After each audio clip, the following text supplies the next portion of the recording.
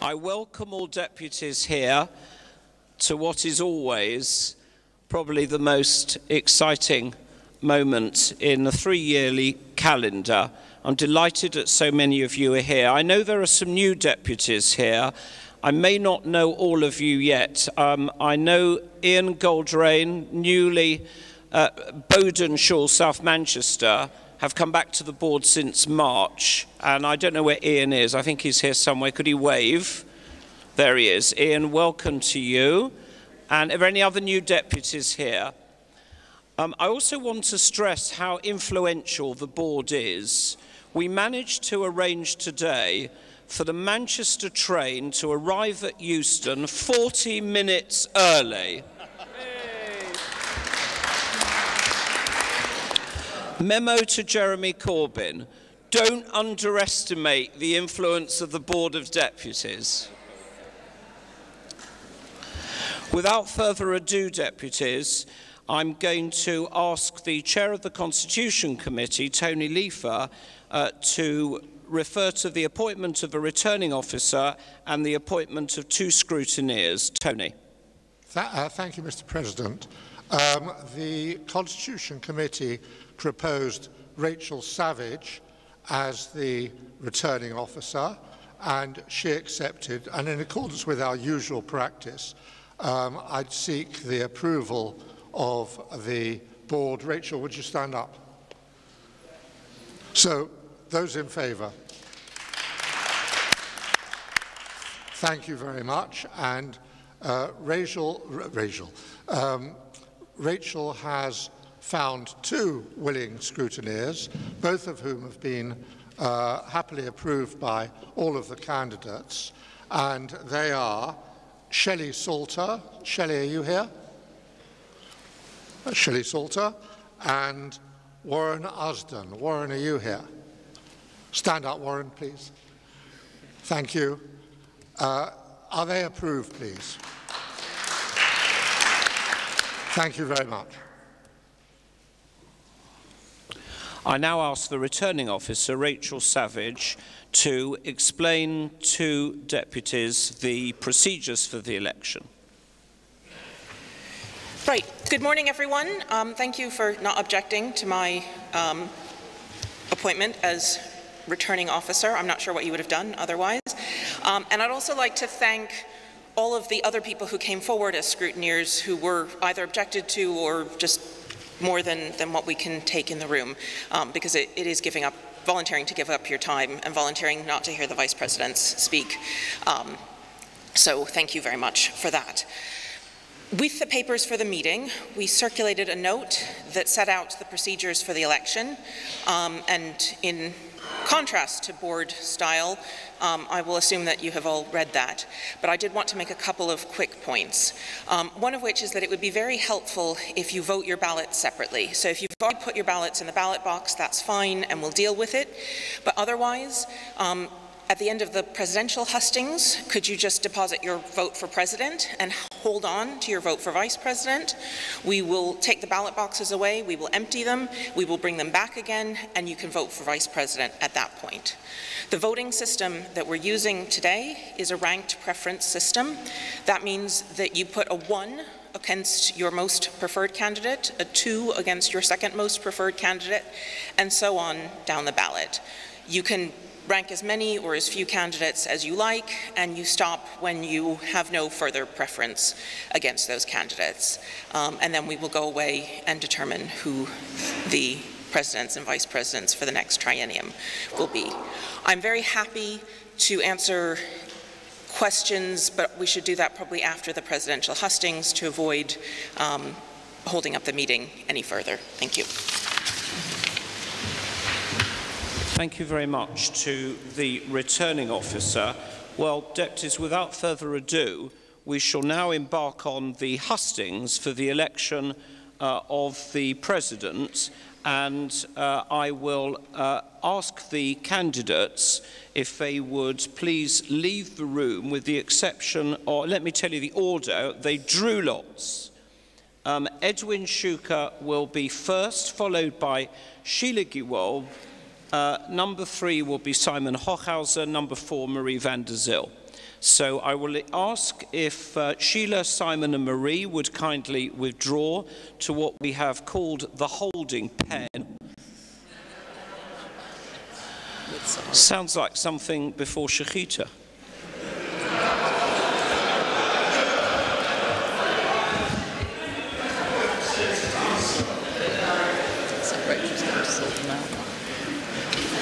Is it five minutes? So I will remind deputies, um, uh, and in particular for Edwin's reminder, five minutes to speak and uh, five minutes for questions. Um, the timekeeping will be kept by Gillian and Richard. There is an online timer there, and there is also a screen, I can't see it, but I think it's the case, that the candidate would be able to see it from the rostrum.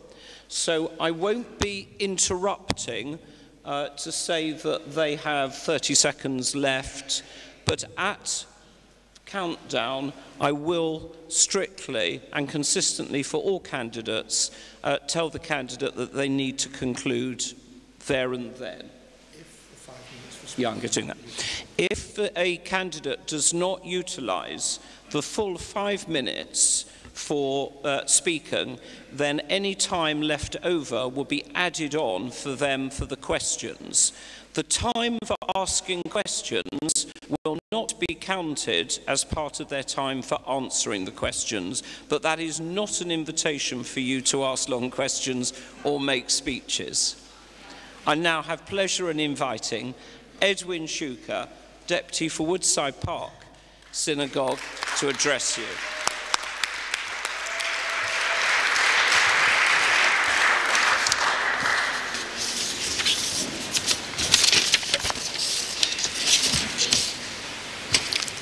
Do I start? oh, it start automatically or shall I? Okay.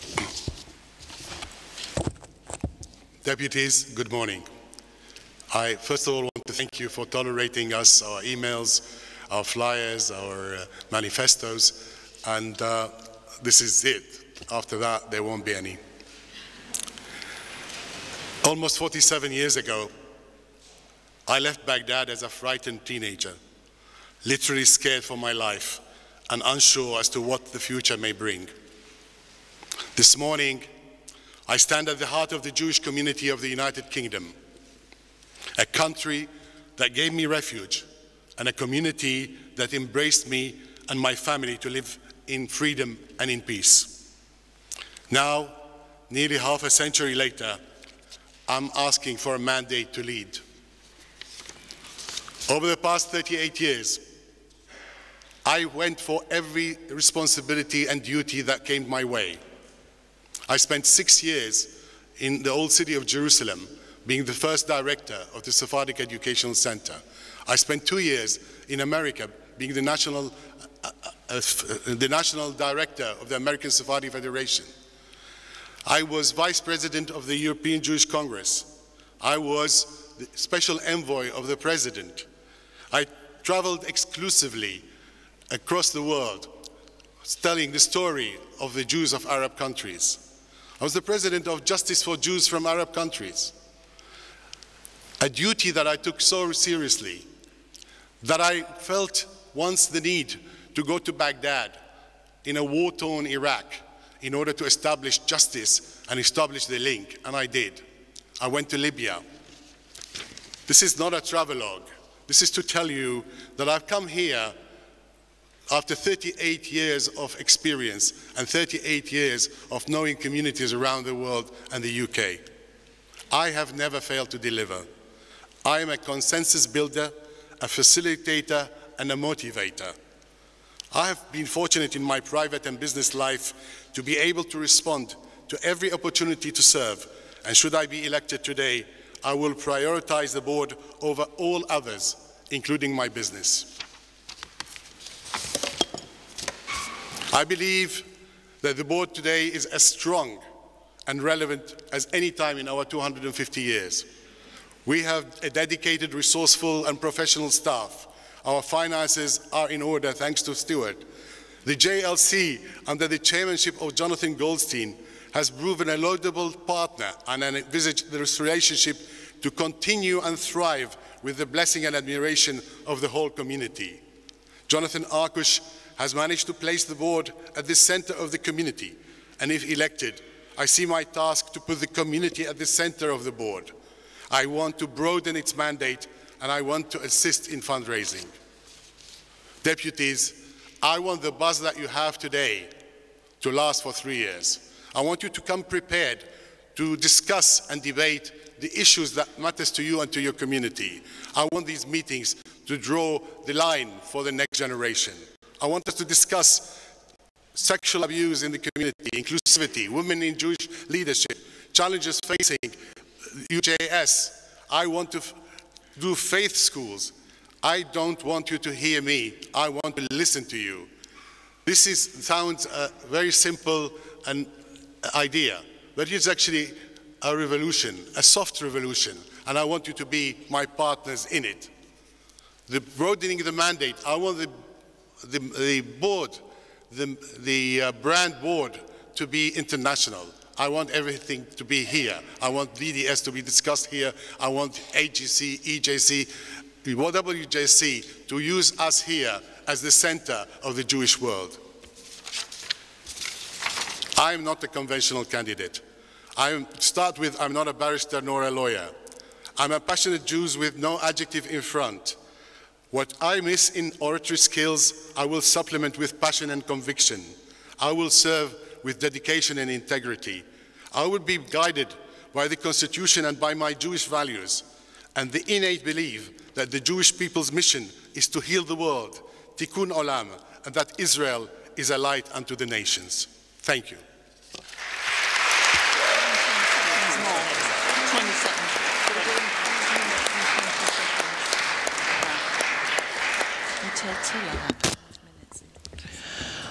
I will invite questions. Um, 20 seconds will be added on to the time for answering the questions, and the time of questions is not counted. Uh, to be fair to candidates, I think if people ask a question of one candidate, I will probably try to find different people to ask questions of the other candidates. So I'm now going to invite questions. I, am going to Joe Millis, and after Joe, is that Brian Mark? I can see half your head, Brian. All right, if you get ready, if you would stand by the microphone. Is there another question that I think we'll probably have time for? Um, yes, do you want to know? Yes, do come forward. I'm, I can't remember your name. Deputy, do come forward to the front. That's it. Thank you.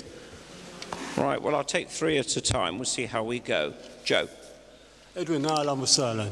Ahlan wa bik. Um, how will you stand up for the 30 odd percent of the community, the Reform, Liberal, other progressive members of this community, who face discrimination and a negative attitude in Israel? Say, for instance, if a young Jewish girl, for instance, was on a tour of Israel, birthright, whatever, and is arrested when she goes to a, a women's prayer group at the, board of, at the Kotel. How will you react to that? Well, Joe, uh, when you actually asked these questions to me uh, earlier, I did my homework. I went and uh, spoke to rabbis in the reform movement, in the progressive movement, and I really felt that the story of the Kotel is at the moment in, the, in Supreme Court. And therefore, we better not discuss it until the Supreme Court issues its thing. However, the question of, this, of the Kotel wasn't just the reform, it was a reneging by the government of Israel against a promise that it made. And that we will absolutely fight with you on that. This was a promise made by a government, no matter what and where, and this should be answered correctly.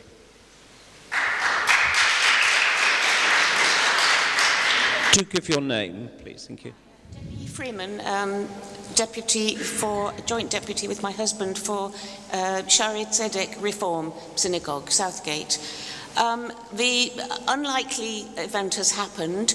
Um, not that this is unlikely, you have become the president, I didn't mean that was unlikely, um, and uh, half a dozen uh, United Synagogue rabbis have gone public about their desire to start uh, an open platform of free, interesting discussion with the uh, members of the uh, reform and progressive movements. And you are asked your personal opinion. Would you support this? Because there's a lot of anger within the United Synagogue against these rabbis.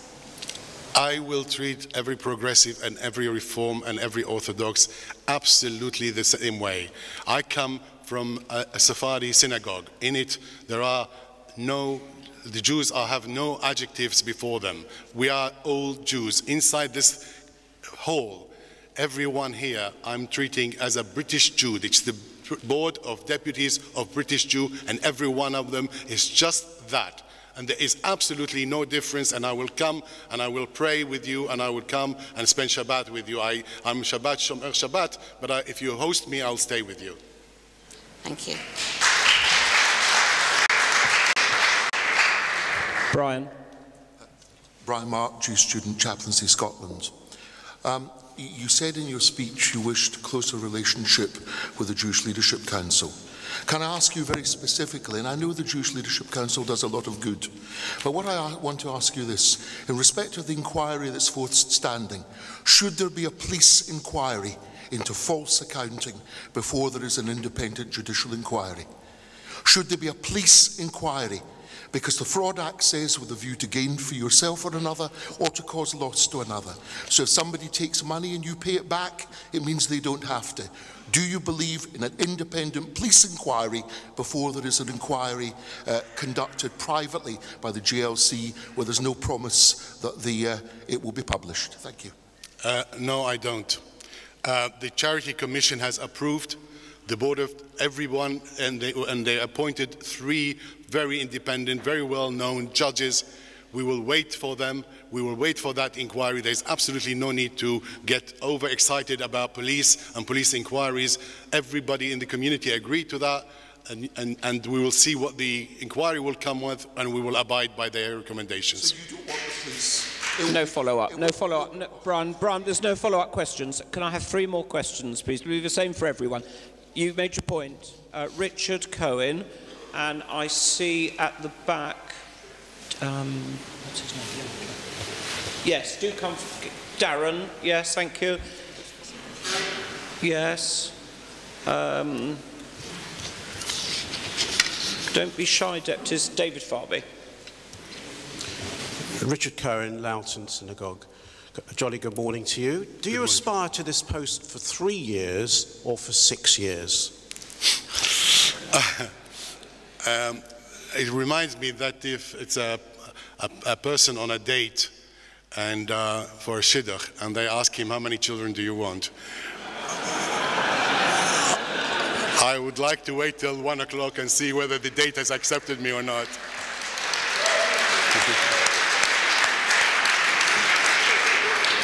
Darren. Uh, Darren Vanning, Barnet United Synagogue. Um, you mentioned Jewish values in your speech. Everyone has a different opinion of what Jewish values are. Um, what do they mean to you? Maybe pick what are the top three Jewish values you see at the core of Judaism and the board should follow um, as a result of that. I actually, when I said it, I, I deliberately said my Jewish values, if you notice. Um, I, for, me, is justice.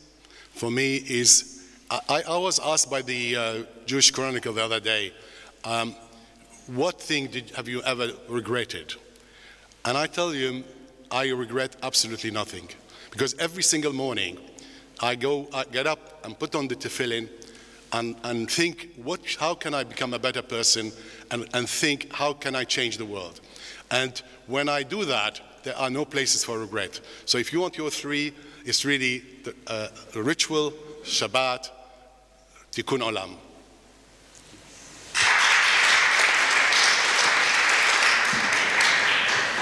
David Farby, Finchley Reform. What, Edwin, would you do to change, develop, improve the quality of board plenary meetings? well, uh, uh, thank you, David. This is, this is actually what I'm standing on. I'm standing on the one challenge. I mean, uh, I actually have well prepared uh, brief on anti-Semitism and on Israel, but I thought you will have to hear today 11 speeches. So therefore, I will, I will spare you the same thing and I will concentrate on the one thing, the one challenge. If I can get a list of issues that the communities want, we will give the issues out in advance. And you will be prepared for these. And if you come and they will be here experts and stakeholders. We are not talking here about amusing you or giving you something to, to uh, go back home with. We are talking about planning the policy and planning the change for a whole generation. And you will be there at inception, not at policy making. And I and the honorary officers will bring back that policy to, for you to ratify months later to see whether that is what you wanted and that is what you sought for. So that when you come down the train from Manchester, you're not coming here to listen to me. You are coming to actually bring the concerns and you are bringing the best practice from your own community and to actually share into drawing what will be the next generation's agenda.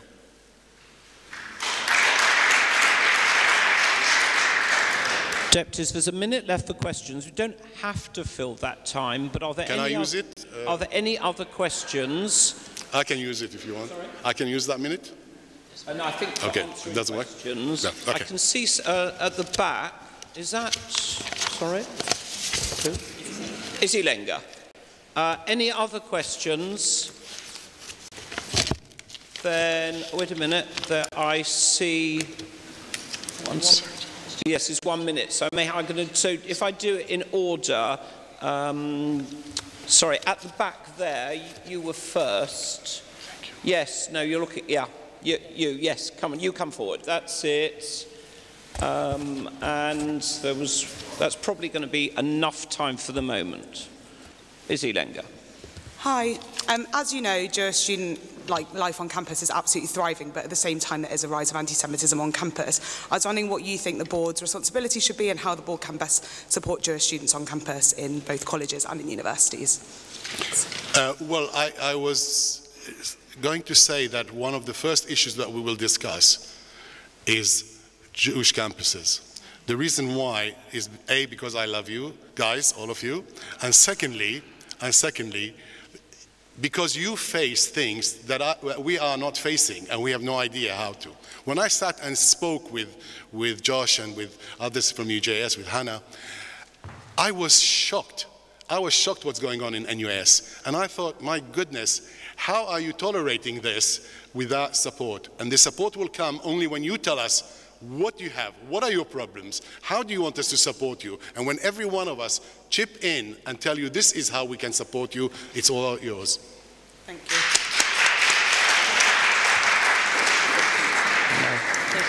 Sally, sorry, I didn't recognise you immediately. Um, Edwin, you'll only have 13 seconds to answer the question. I, I realise that's a little bit hard, but it's going to be the same for everyone.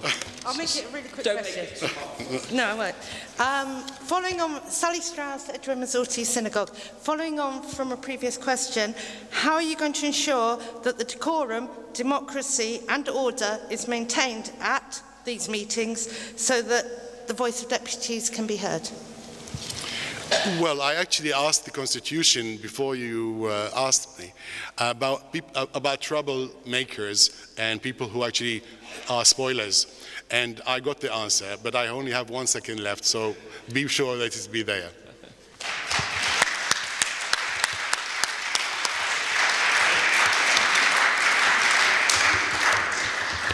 Thank you, Edwin.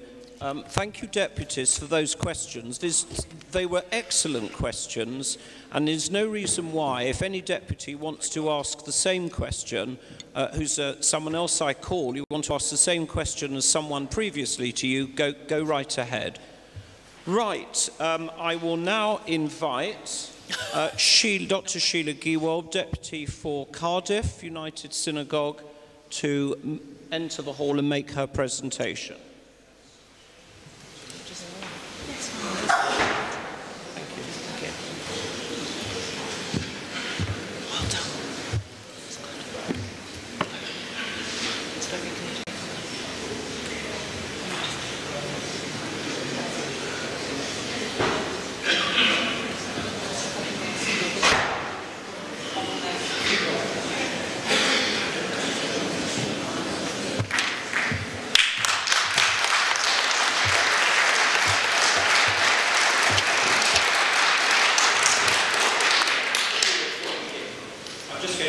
So Sheila will have five minutes to speak and five minutes to answer questions. Any time uh, under the five minutes that you don't speak will be added on for questions. Uh, and you have a screen which I hope you can see, which will start ticking down when you start speaking. So I won't be interrupting you, uh, and, but I will uh, stop you, as I will all candidates, when zero is reached. Thank so, you. Sheila, the floor is yours. Thank you. As Labour MP Ruth Smeeth walked to a hearing to give evidence against a party member accused of anti-Semitism, protesters chanted, reinstate Marc Wadsworth. These same protesters said that the rows about anti-Semitism in Labour had been largely fabricated. This hearing took place 22 months after the offence and one day after the board meeting with Jeremy Corbyn. The same day, The Guardian reported that the General Secretary of the Unite Trade Union, Len McCluskey, has accused Labour MPs who have complained about anti-Semitism of smearing Jeremy Corbyn and called for them to be held to account. Whoever wins this election, British Jewry faces a grueling extended struggle to combat anti-Semitism. This struggle will not abate on its own or any time soon.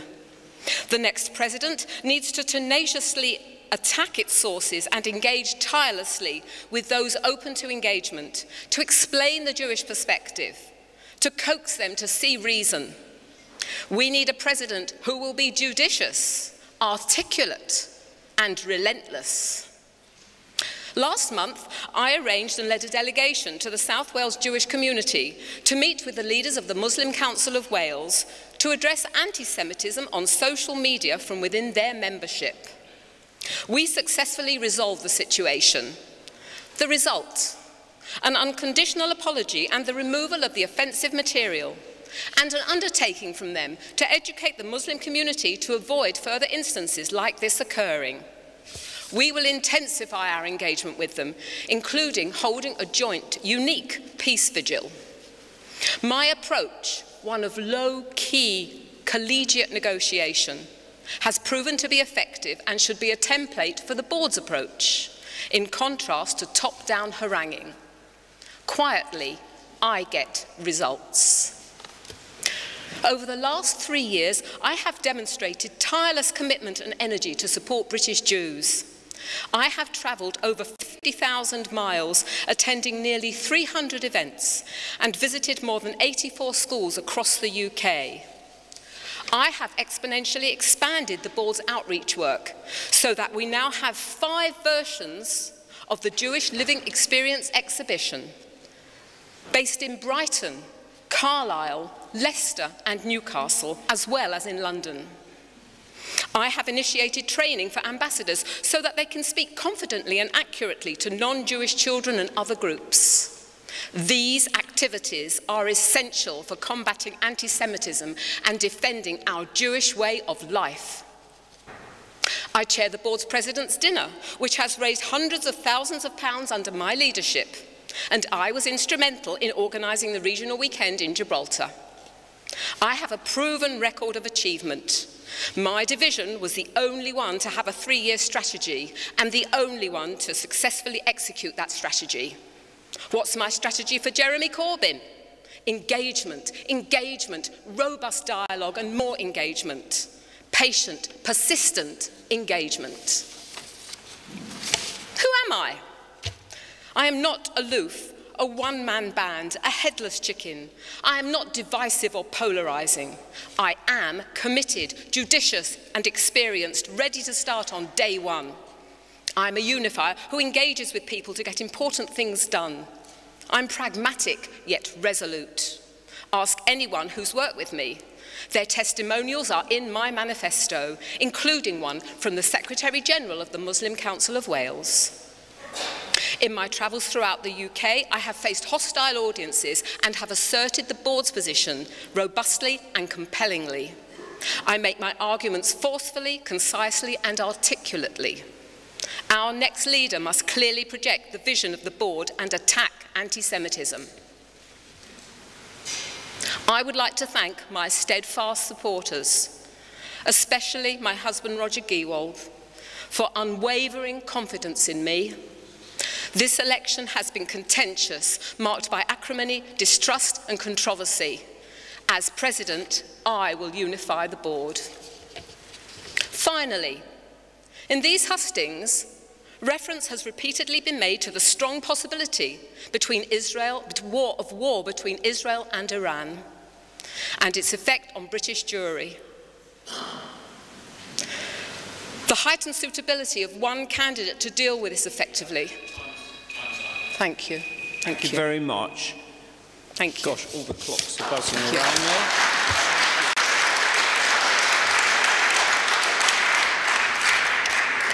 there. Um, I will again invite questions. If we can have some hands, and I'll take three by three to stand by the microphone.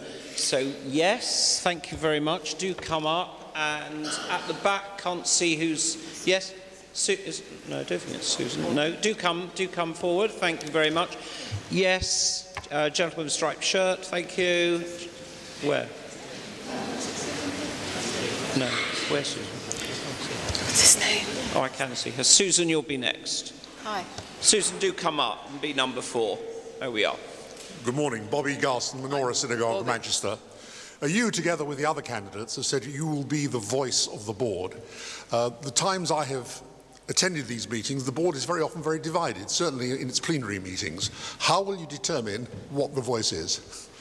Bobby, you're quite right. We do have many diverse views. It's the job of the board to represent all those views and to listen to them all with respect. We are never all going to agree on, anything, on everything, but it is really important. Freudian slip. I'm allowed it today, once. Um, but we know, as president, I have shown that I can be collegiate and bring people together and listen to people, and other people under my presidency would have that respect because we all have a view and we are all entitled to make it. Thank, Thank you. you.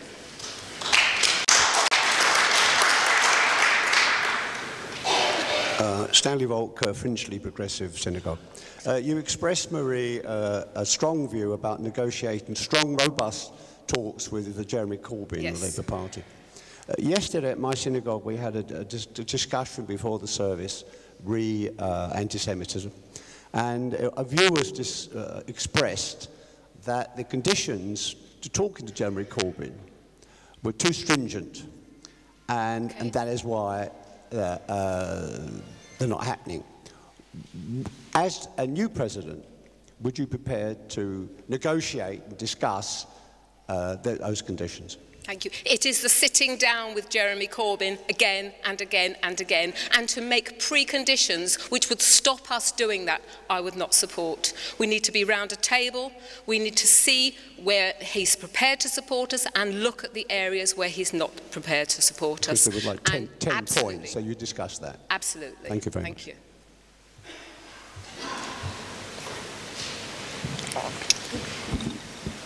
Uh, Carrie Lambeth, UJS. Hi, Carrie. Um, you've rightly spoken about the diversity of voices on the board. Um, how will you work effectively with groups that you may not agree with, such as Yachad? Absolutely. It's in our constitution, Kerry, that we have to admit um, accept applications for any Jewish group. And then, of course, if they're not elected by their organisations, it is the deputies, a two-thirds majority, which would allow that organisation to be part of the board. And we have to listen to everybody's views. But there are red lines across which people must not go, otherwise we would not have them as part of our organisation and they would have to leave, okay? People who call Israel a steaming pile of sewage would not be allowed to stand at that microphone and voice their opin- opinions, okay? But otherwise, absolutely, everybody is entitled, representing a Jewish organisation, to air their views and have them heard. Thank you.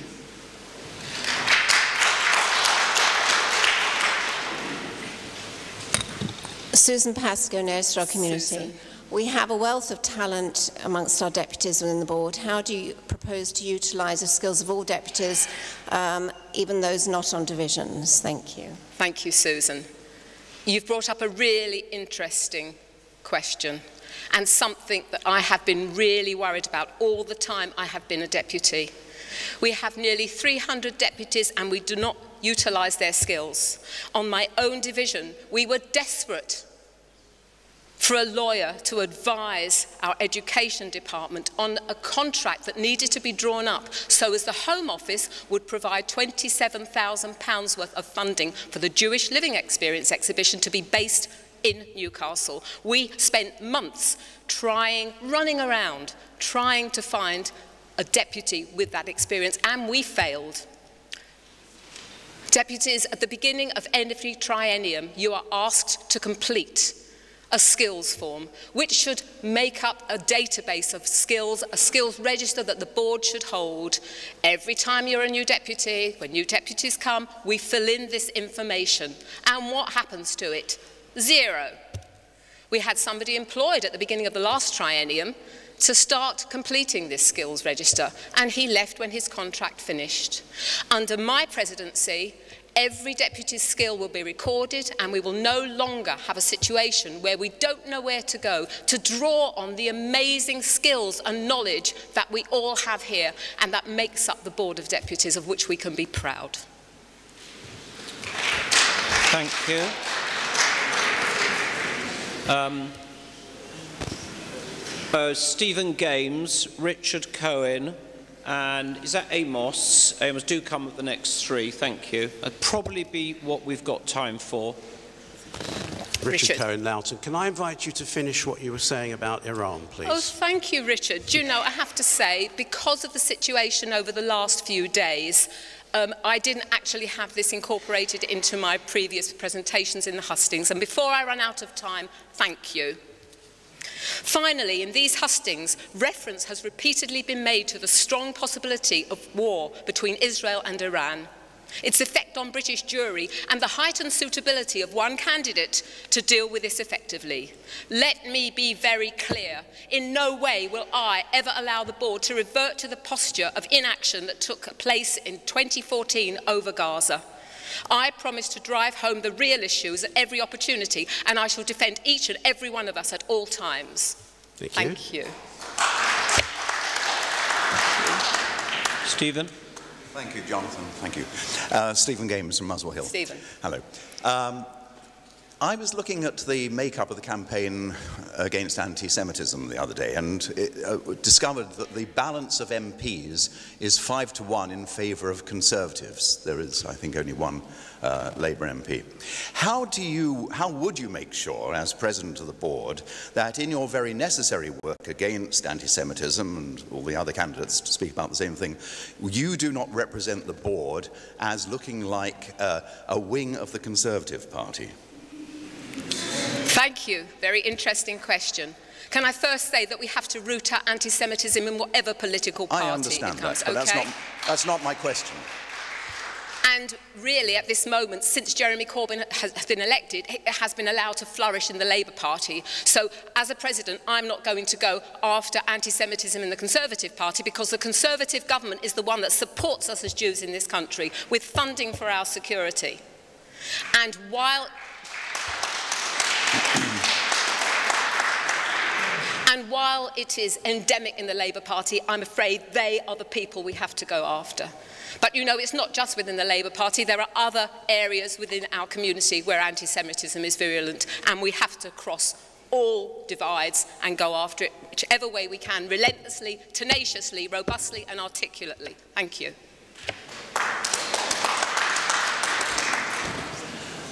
Um, if you could Hi. bear in mind that Sheila will only have 12 seconds to I'll try answer. to ask I'll a make it direct quick, question. Amos. I'll speed up for you. Thank you. Uh, Amos Johnfield, uh, Deputy for Yachad. I want to return to the question we heard earlier.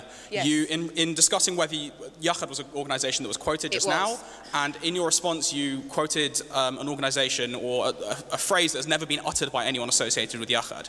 In that, you're, you're starting to push my organisation into, into a corner that it does not belong in. I, as, a, as in my brief career, have devoted my entire career to working to improve Israel education. And it hurts. It de- deeply hurts when you do something like that. So I'm really stuck at a point now where I don't know whether you don't understand Zionism or don't understand Yachad. So for my direct question, I'll give you, because you've got 12 seconds. Sure, sure. If elected, to either of, either of the positions you're running for? Will you sit down with me, the students I work with, and my staff in order to, so you can properly understand the work that we do?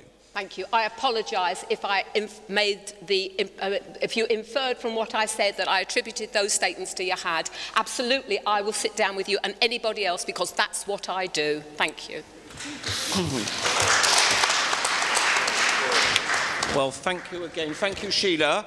and thank you, uh, deputies. Just Sheila does already know, candidates who are for president and vice president, which is Sheila and Edwin, will not be speaking a second time. So you, you have heard them. Thank you.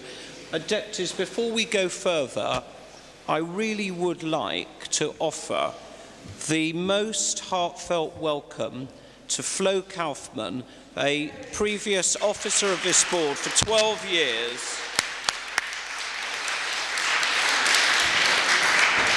Flo, you have undergone, we know, some extremely challenging times and treatment. The good wishes uh, of the board go with you for the future, and we are so delighted to see you here.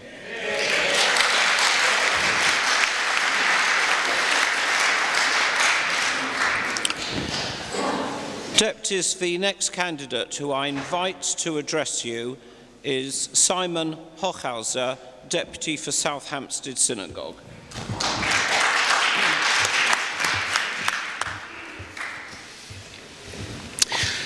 I was about to say good morning, uh, President and deputies, but I can think I can just about say good afternoon. The last three weeks, certainly the last two weeks, have been some of the most tiring that I can remember. We have been on the stump up and down the country, uh, together, debating with deputies, with members of the community. We have been on the email, answering questions, we've been on the telephone. And it's been quite an exhilarating period, but very, very tiring. So tiring that even today I feel a little bit like a member of the House of Lords who fell asleep during a long debate and dreamt that he was giving a speech in the House of Lords, only to wake up and find that he actually was. It, it's been a little bit like Groundhog Day, but in fact, I probably could repeat a lot of the speeches that I heard back there in the hustings, but I'm sure people gave a different account of themselves today. Just seven weeks ago, many of us stood in Parliament Square and we all said, in front of Houses of Parliament, we said, enough is enough, Dayenu. And that was a process which was led by our very own president here, the spokes, the person who fronts the community, together with the chair of the JLC, and they made this statement, and it led to a process which I believe ended, certainly phase one ended, with the people of Barnet and indeed Salford and Hale and other areas saying to the Labour Party and being repeated time and time again that Dayenu, enough is enough, maspik kvar. This was a message that went out loud and clear. It's not only that. We saw last week how Israel reacted to an attack on itself. Now, none of us could if particularly have foresaw, foreseen what went on before the presidential elections over the last nine years. Johnny, when he came into office, he could not possibly have foreseen the Labour and anti-Semitism. Indeed, Corbyn hadn't even been elected at that time. Certainly, his predecessor, Vivian Wineman, could not have foreseen the Gaza war and the effect that that would have on our community. And indeed, Henry Grunwald would not have been able to know in advance that he would be dealing with a situation arising from the war in Lebanon. And none of us can predict what's going to happen over the next three years, but we can be pretty sure that there will be a crisis that the leader of this community is going to have to confront on behalf of us all. The situation with Iran is very, very fraught. And I want to say on behalf of all of us here, Kol hakavod litzahal. Thank you, Tzahal, for everything that you have done and you do for us all in Israel and in the diaspora. On this, the 51st Yom Yerushalayim, when we commemorate the reunification of Jerusalem, well, Jerusalem is going to be in the news quite a lot this year. And one of the reasons it's going to be is because of another congratulations we need to send to the winner of the Eurovision Song Contest.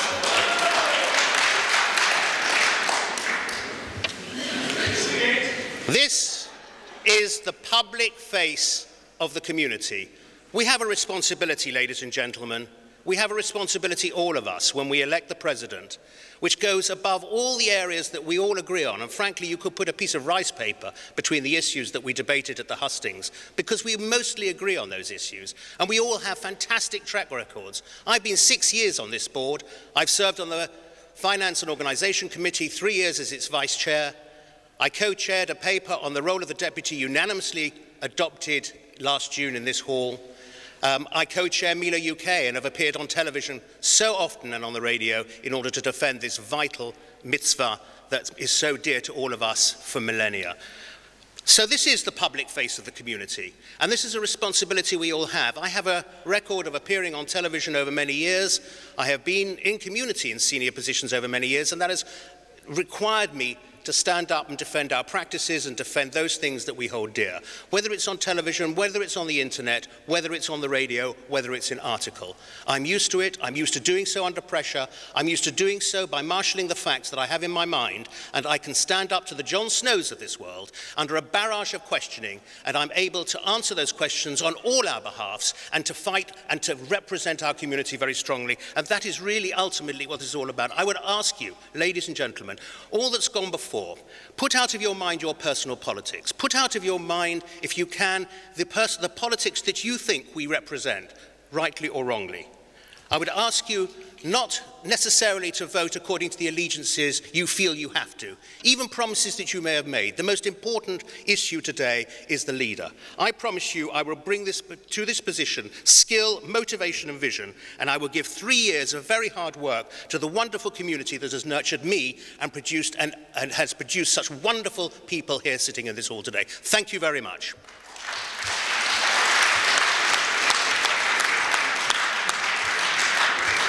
Um, Shelley Salter and um, uh, Deputy from Radlett, Reform. Yes, sorry. Yes, do come forward. Thank you. And is that Colin Lang? I see. So would the three of you like to come? Lawrence Brass. Uh, no, it's not Lawrence. It's Paul Edlin. Do come. Make number four. Thank you. Two seconds. Yes, two seconds will be added to Simon's time. Uh, Shelley. Um, Shelley Salter, the Liberal Synagogue, St John's Wood. Um, Simon, if we can win the Eurovision Song Contest, where is the anti-Semitism? As I said earlier, we've addressed anti-Semitism. We will continue to address anti-Semitism in all its forms. Where is anti-Semitism? We're we're never going to destroy this evil. But we will fight on. We'll fight on wherever it occurs, whether it's in politics, whether it's to the right, whether it's to the left, whether it's in the football grounds. We will make a point of fighting anti-Semitism at all times, yes. Lana Young, Radlett Reform Synagogue. Simon, if you found the hustings tiring, how will you cope with three years of presidency?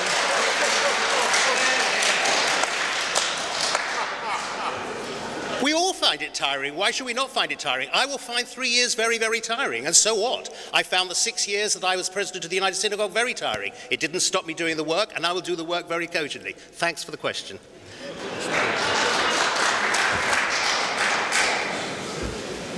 Uh, Colin Lang, Birmingham Hebrew Congregation, uh, in reciting the work that you did for the board uh, recently, you did not refer to your work on the working group dealing with the restructuring of the board.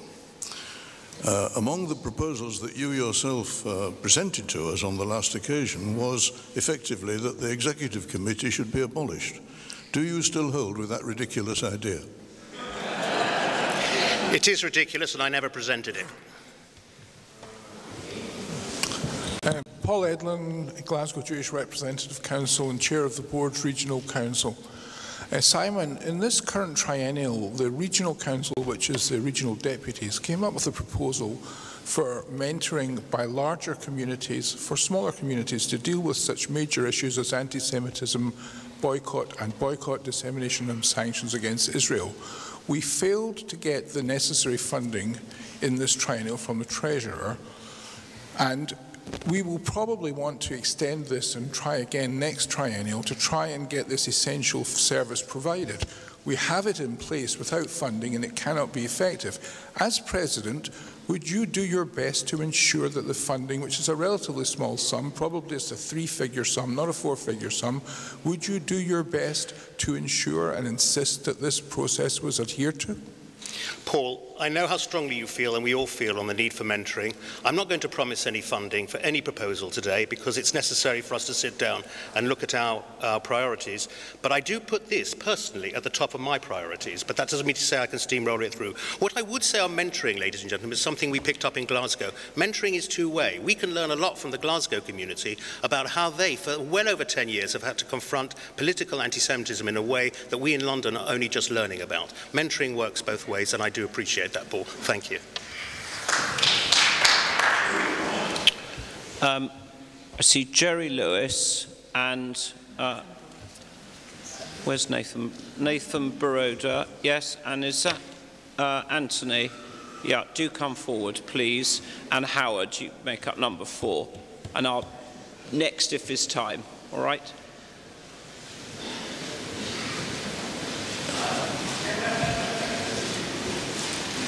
Howard Erden been a Synagogue. As a deputy for United Synagogue, what would you do to try and bring the Haredim into the board? And also, how can we be sure that the views of those strands of Judaism less orthodox than United Synagogue are properly reflected and heard? Howard, that's two questions. Haredim is a complicated issue, and I know very, very well. Half my family is very embedded within the Haredi community, and I work very, very closely with all branches of the Haredi community, from Satmar to Belz to Bobov, and indeed the Union of Orthodox Hebrew Congregations, and have done so over my complete communal career.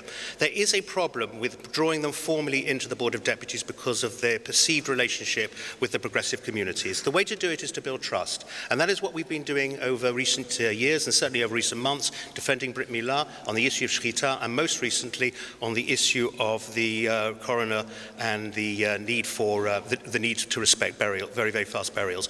Um, there is an issue cropping up right now regarding the uh, Das Israel um, Housing Association. That's something we need to, I will look at with them if I'm elected, and help them. By building trust, we bring them in on non-religious uh, uh, people who are not necessarily affiliated to religious organisations or those that feel generally disaffiliated. I have said quite categorically on the hustings and generally that we need to look for ways of including them in the work of the board, maybe allowing them to elect directly to the Board of Deputies through groups like WhatsApp, etc., and allowing them to contribute, because sometimes non-affiliation and increasingly amongst the young people, non-affiliation is an issue of getting them to be included. But I will fight very, very hard that we widen our franchise. Jerry. Jerry Lewis, Hampstead Synagogue. Mr Hochhauser, I've only risen because of your reply to Colin Lang a few minutes ago. My recollection and his recollection, and I think many of us recollection, was simply that you did present some proposals which included a number which were heavily defeated by this board. And I worry that you might begin to seek to reintroduce them. This is the Bible, the constitution of our board. Many of the rules about this election I wrote. Can we have an assurance that you would abide by the rules of the board and if any changes are going to be made to the constitution, you will accept them? Thank you. Uh, I can give you that utter assurance, Mr. Lewis, because the Bible, although it's not, this is not a Bible because our Bible doesn't get changed in that way, but we can vote for changes to the Bible. and if it's so voted, and there's no other way of getting changes here. So actually, your question is a very good question, but I can agree with you. There is one point I want to make, though. I was chair of the working group on the role of the deputy, as I mentioned earlier. Um, Howard Dedunas, who asked a question earlier, when I co authored that paper, we will work very hard if I'm elected to actually give uh, deputies the ability to improve their role here in the Board of Deputies. Nathan Baroda, Union of Jewish Students. I just wondered what your plans are about how to get more young people involved in the board. Thank you, Nathan. Um, you and I have chatted and we've talked about it. I, uh, the most important thing for us is to listen to what you have to say and how you would like to get involved in the board because the problem is, and this has been a problem throughout, we talk a lot to and about but not enough from. We need to listen to you, um, that's the UJS in particular. We've worked very closely with UJS in the past. Uh, I know that young people can be a bit reticent about being involved in an organisation which they perceive to be one of older people. I remember what it was like, and probably many of you do, when you were very young, whether you would have got involved with the Board of Deputies. We'll make everything and anything available, any time available, any technology available, any methodology available to include young people because we need young people, we have to have young people, and not just because of the trite reason they are out tomorrow, because we actually need them today. Thank you, Nathan.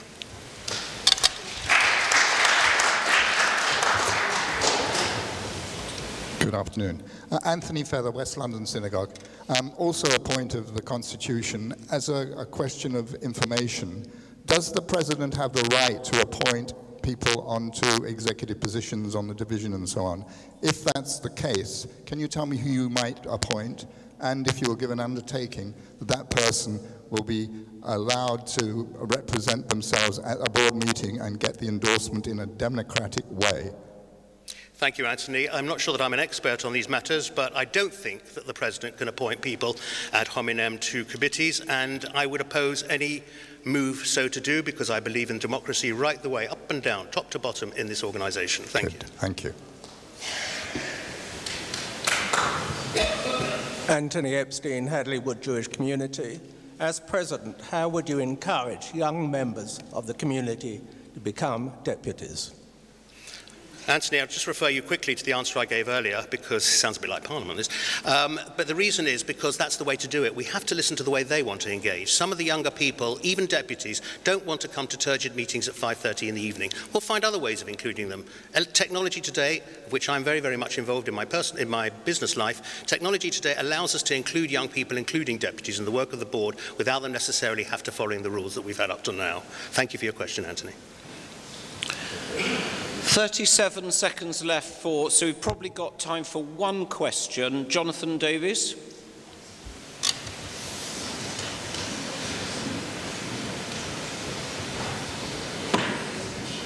Jonathan Davis, Golders Green United Synagogue. From your experience on, on the Mila campaign and also defending Shechita, do you agree that on many issues, we, especially in an age of secularization, we have many common interests with the Muslim community and shouldn't allow the politics of the Middle East to get in the way of working with the Muslim community defending religious rights? Jonathan, I absolutely agree. And indeed, I recently was on a panel together with Muslim practitioners of Mila in which we defended our practice and the Muslim practice. We did not cover the areas of the Middle East and it never got in the way. Thank you. Time for another question, I think, Mr. President. Uh, Robert, your very time for your question. If it's time, Laura. Robert Sachs, Belsize Square Synagogue. All the deputies speak, of, all the candidates speak of fighting anti-Semitism. There's a great deal of hate crime that is not dealt with by the Board of Deputies. It is dealt with by other bodies such as UK Lawyers for Israel, Stand With Us, and so on. What will you do to ensure that we, the deputies, can be trained to be involved in bringing prosecutions against hate crimes? Thank you.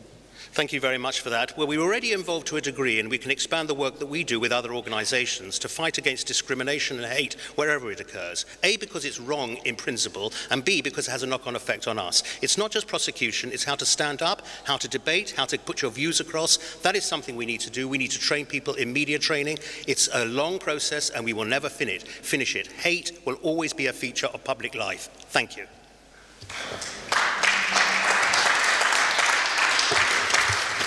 Well, thank you again, deputies, for those questions. Thank you, Simon Hochhauser.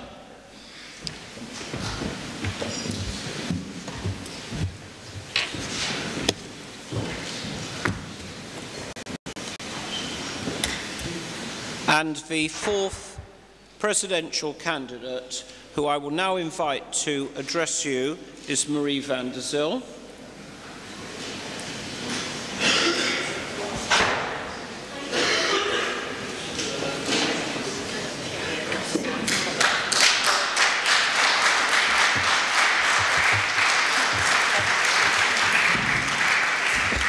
Marie, Marie, you'll have five minutes.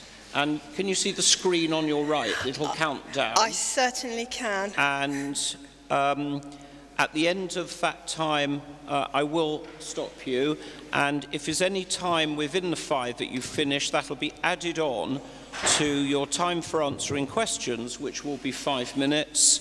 and uh, the time of the questions will not be counted, just the time of your answers.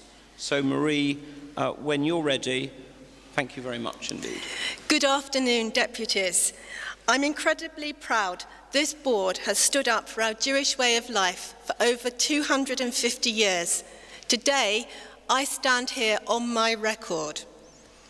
As Vice President for the Defence and Interfaith Religion, I've been responsible for some of the most crucial issues our community has had to face. Let me give you three examples. I successfully negotiated with the London School of Economics their acceptance of the IHRA definition of anti-Semitism. This was following their suggestion to implement an unacceptable alternative. I was also the first person to call out the Shami Chakrabarti report for what it was, a whitewash. You can see my quote in Wikipedia. And, most importantly, in just the last few weeks, we've seen the landmark High Court victory in the coroner's case. The introduction of the cab rank rule by Mary Hassell was declared unlawful, discriminatory, and incapable of rational justification. On behalf of the entire Jewish community, I successfully orchestrated the board's campaign bringing together politicians of all parties, including the Prime Minister and other public figures, to attack this unjust policy. This was no easy task. However, I was able to rely upon my 27 years of legal skills, judgment and insight as an employment lawyer and partner in a well-known law firm. This victory clearly confirms my credentials. As a result of the coroner's case, I've been able to deepen my own and the board's working relationship with the Haredi community. Bringing people together, including other communal organisations, is essential for the board's future in defending the attacks on our rights, practices and way of life. As President, I would carry on resolving these issues, however complicated or challenging they may be. I've often been quoted in the press about anti-Semitism. I've given numerous TV and radio interviews, and I'm widely known to today's politicians. I've been representing you and the community. And I've proudly undertaken this work, no matter how many hours it's taken, training indeed to be the next board president. We must also celebrate Jewish life and reach out to unaffiliated Jews and young people. I want to champion the amazing contributions the British Jewish community makes to society, to continue to enhance social cohesion amongst other faith communities, and to advance our special relationship with Israel. Israel's security, welfare and standing are at the heart of our constitution and in my heart too. Wasn't it wonderful that Netta won last night? But I am particularly concerned by the threat of Iran and its allies to the well-being of Israel and also to the diaspora communities. I launched my manifesto online, setting out my vision for the next three years.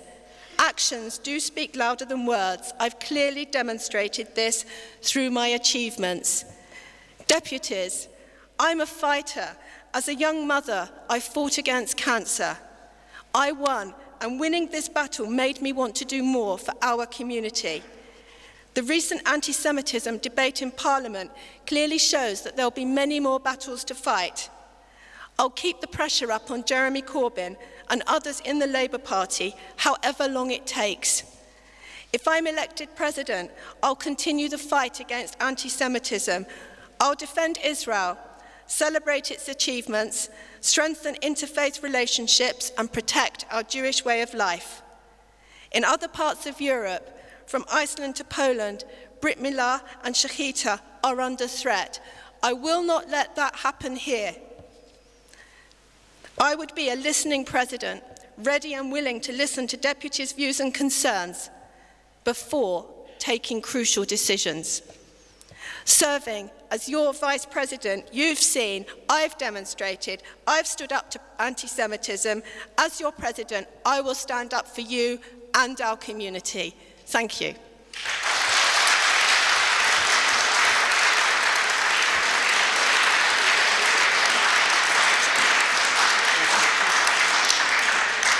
There'll be two seconds added on, the answers. So I see Flora Frank and Lawrence Brass, Vicky Harris and Ruth Friedman. Do you all want to go to the microphone, please?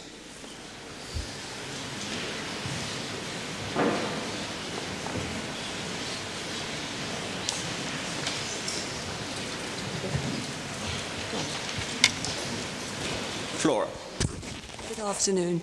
Um, unfortunately, Flora Frank, British Emunah, unfortunately, as we all well know, Israel has many detractors, critics, and even amongst our own people, especially on the subject of the treatment of our Arab neighbours, with whom we have to get along and look after, the building projects, and so on and so forth. We cannot afford to be divisive. If we, the Jewish people, do not support Israel, who will? And I'm asking you if you can sincerely assure us, the community, that you will not speak out de detrimentally against Israel. And I want to ask you, will you continue in the vein of our wonderful President, Jonathan Arkush, who has a sense of history, a sense of duty, and has been unwavering in his loyalty and support of Israel in an objective and a professional manner. Thank you. Thank you, thank you very much for the question. I hope that you could feel from my speech that I was very open that Israel is at the heart of my identity as a Jew, as it is to many, many Jews. Our constitution in section 3C specifically provides that the welfare of Israel, its standing, must be something that we must promote. It's absolutely our duty to promote a sensitive and positive uh, outlook for Israel, particularly in relation to its security position. I do not believe that we should be uh, criticising the policies of Israel, and I absolutely believe that we must put Israel in the best possible light, fight BDS and any attempts to delegitimise Israel. I'm firmly for defending Israel.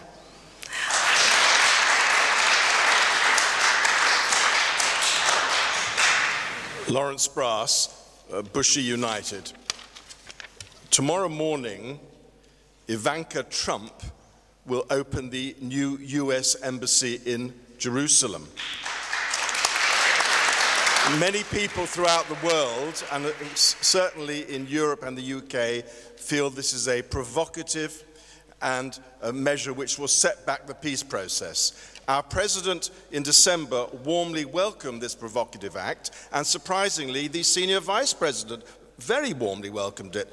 Had you been president in December, would you have welcomed it as well? I can give you a very straightforward answer to that.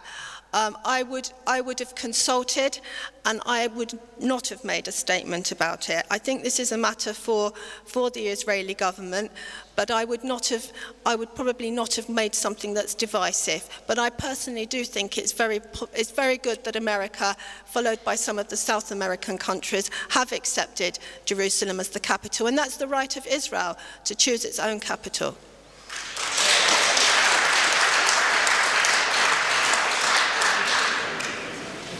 Ruth Friedman, very newly elected, re-elected to the Pinner Synagogue. Congratulations. As a deputy. Uh, Marie, what specifically is your strategy for dealing with Jeremy Corbyn and the Labour Party? Thank you. Right, there is no, the strategy is, there is no easy solution to this problem. This is something that's going to be an issue that's ongoing.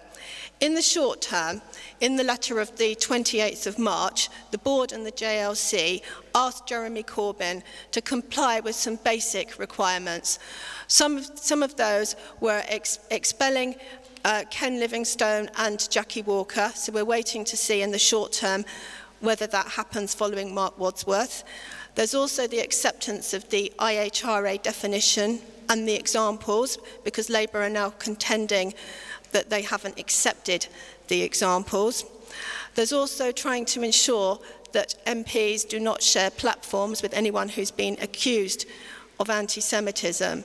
So we have to wait and see, following perhaps the first meeting, which was a disappointment, what Labour are going to do by the end of July as promised. Then there's also the question of the hundreds of disciplinary cases. We have to keep the pressure up. We have to, within the Labour Party, outside the Labour Party, with all our friends and the media, take every opportunity to challenge any aspects of anti-Semitism, use every single parliamentary debate, inquiry, select committee to continue to take this issue up. The IHRA definition is a very important part of the education that we need to look through, and only 118 authorities at present have accepted the definition, but not all of the examples. So I think there is a lot of work to do, but I don't think you should be expecting a speedy response.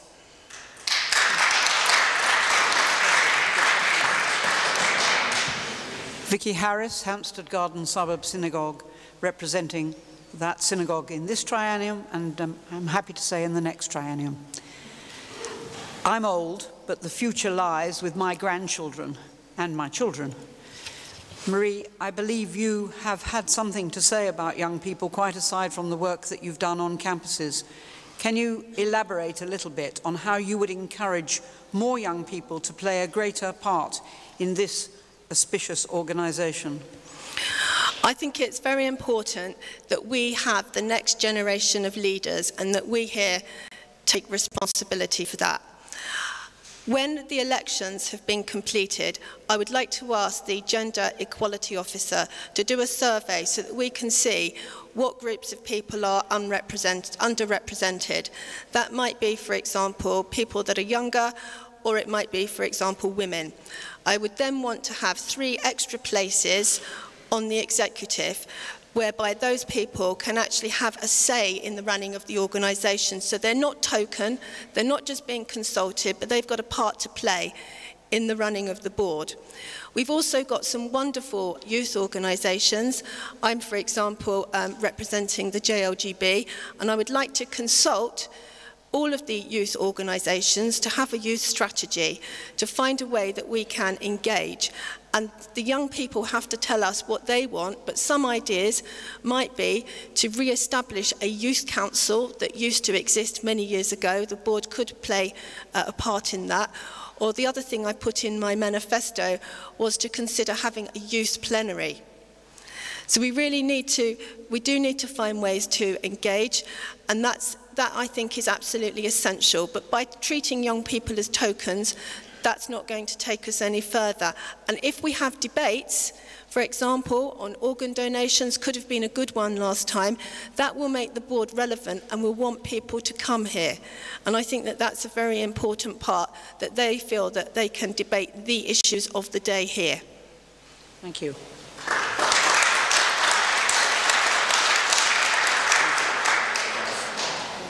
Uh, yes, at the back with the blue shirt. Right, probably just time for one question because you've got 17 seconds for Marie to answer. But if there is time, uh, then I'll ask Sydney.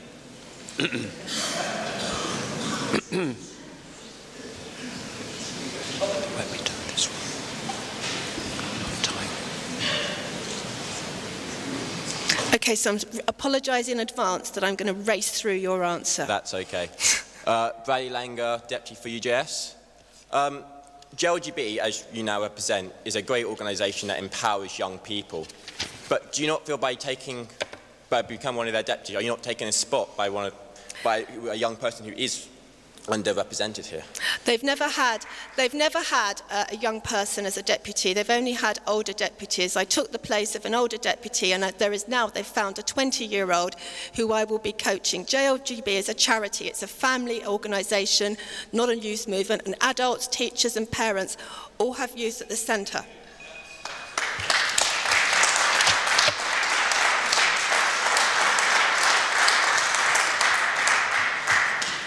Well, deputies, I thank Marie, deputy for JLGB. That completes the presidential hustings.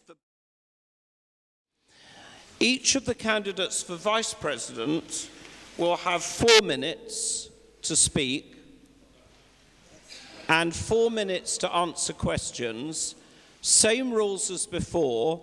Any unused time in speaking will be added on to the answers for questions. The order in which the Vice President's candidates will be speaking. I've lost my piece of paper. Anyone help me? Well, I know it's Kim Cohen first. So, Kim, if you don't That's need to know who's That's number two to, two to nine, when Kim, you're ready, uh, you'll see the screen will tick down the four minutes. I won't say anything until you've reached ground zero when I will stop you. And that's what I will do with all the following candidates. So, ladies and gentlemen, Kim Cohen, Deputy for Northwood United Synagogue. Mr. President, honorary officers, my fellow deputies, honoured guests, in less than four minutes, I want to tell you why you should consider voting for me as Vice President and what I can actually uh, offer. Firstly, I'd like to applaud the work of the last board and the fantastic successes they've had over the last three years, and that's given us a real platform in the community. Who am I? I'm a business strategy uh, strategist, and I've worked in very, very large companies, and I want to try and impress you as to why that's relevant to me standing for vice president of this board. I've worked a lot across different sectors, different um, continents, and I was head of group head of strategy and planning in a very large company of 100,000 people, engineering company, 12 divisions, and I was tasked with bringing to the board, the main board, the plans for and strategies for discussion amongst no more than 10 directors. So with 100,000 people, 12 organizations, how do you distill that down and come back down to what is important for the main board of the company to discuss. Some of these individual constituents were very large companies in their own right. And that was a discipline that I learnt, and I learnt through experience that um, how you develop strategic skills in such large organizations, how you distill them down to what's important. Coming onto the Board of Deputies, I didn't really know what to expect. And one of the things that I, I was looking for is, you know, is everybody um, here cohesive? Do we have, you know, motivated teams working on various aspects of uh, board policy?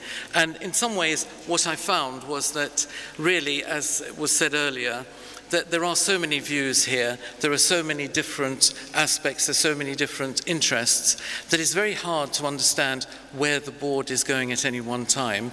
But the board does react when it's asked to and is very strong and robust in its response to such issues as um, anti-Semitism, and I'll come on to my manifesto. In working in the aerospace industry, what I found was very often I was the only Jew and in a very visible position. And that strengthened my uh, awareness of the importance of interfaith work. And I want to see here a united voice. My um, contribution to the board as a vice president would be in having a shared mission, vision, and values and a strategy. What I've heard up till now is we have three strategies, three divisions, three strategies, four divisions, four strategies, and four plans. I want to wash all of that away. I want to have one plan, one vision, and how would I do that? I would want each one of you as a deputy here to take part in forming that vision, in formulating that vision, so that we have a united vision. So we can all have different aspects of, uh, of different views, but we must have a shared vision. And that would help very much to bring in new people when they come in or they ask any um, deputy here, anywhere in, in the UK, what's the Board of Deputies about? It's about we have a shared vision, this is what we do. And what I'd like to, uh, to do is very much be the catalyst on the board that brings together the vice presidents with the president to formulate those plans with your help and to bring about a change in the approach of the Board of Deputies. I'd like the Board of Deputies to be seen to be leading the Jewish voice. The difficulty I think we have is we have another organisation that is doing extremely well, the Jewish Leadership Council. It is really more a Jewish welfare council. We need to work with them closely, but we need to understand. Right, thank you. Thank you very much. I shall invite questions uh, for Kim Cohen. Do I see any questions? Any questions there? Jonathan Davies, yes. Do come to the microphone, Jonathan. Any other questions? Anyone who hasn't yet asked a question? Uh, yes, David, please. Uh, Deanna?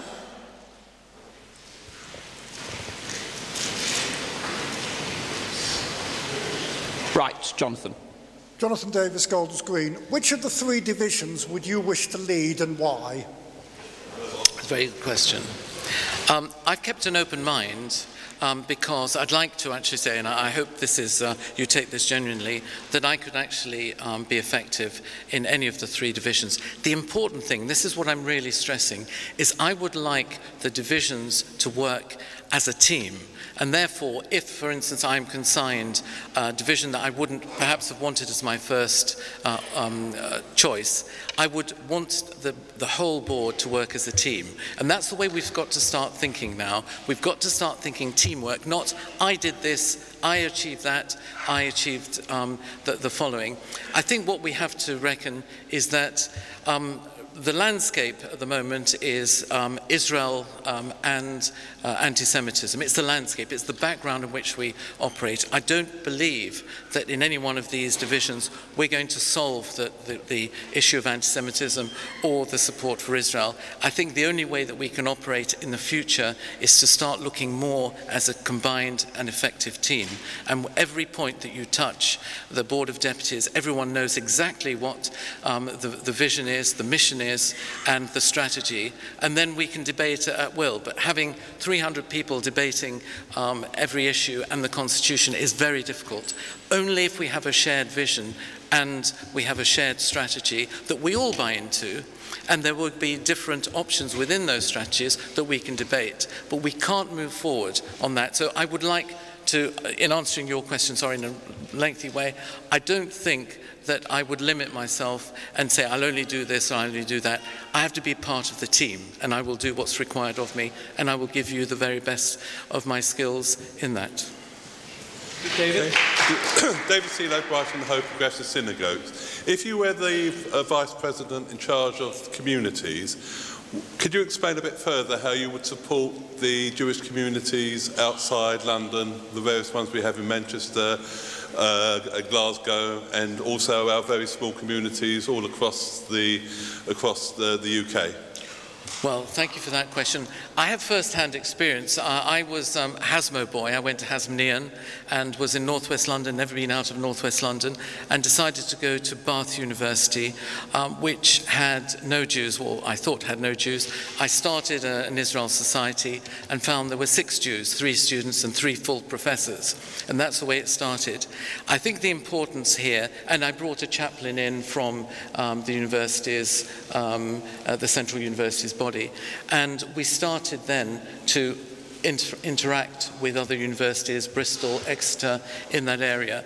And we started to form a group. What I see at the moment is that, obviously, and this is uh, demographics, something like 60% of the Jewish population is based around London, 40% um, all over in regions, and then if you uh, take Manchester, it starts to get very, very fragmented. I think the important thing that I'd like to do, firstly, is to get around the patch. The second thing is to make sure that when we have these sessions of trying to bind ourselves to vision and mission and, and, values, a lot of those are going to be how do we support um, those small communities? Because at the moment, we don't really want to be forced back into London and then basically uh, London is the only Jewish base. Um, we really want to try and grow now in the regions. I think what we're seeing is Haredi is growing in the regions, and that is an issue I'd very much like to address, that we also have to try and be inclusive in some way. Diana? Thank you. Diana Levine, I represent B'nai B'rith UK on the board. Um, you were cut off at the end of what you were saying. You didn't get a chance to complete it. Um, but before I ask you to do so, could you bear in mind that the JLC the Jewish Leadership Council, self-appointed at great cost um, to each of its members, member organisations. Um, I'd like to know what it was you were going to say because I find it a difficult one. Thank you. Right. Um, it is a very difficult one. Thank you very much for that, for that question. What I was going to say about the Jewish Leadership Council is that we've got that history, the 250-year history. We've actually been a very valued, the, the valued voice of, of Judaism in the UK in a very short space of time, and obviously with funding, and I was going to say something about it is important to have funding, I'm looking at this as a business. I'm looking at the Board of Deputies as having a business side which says if we want to do all the things we want to do, we have to be better funded. That is one of the challenges I have. But coming back to, to your question, I see the Jewish Leadership Council more... Oh, sorry. Sorry, okay. I have to keep to the time. It's the same for all candidates. Okay, so I sure. have to stop you. Kim Cohen, Deputy for Northwood United Synagogue. Okay. Thank you very much.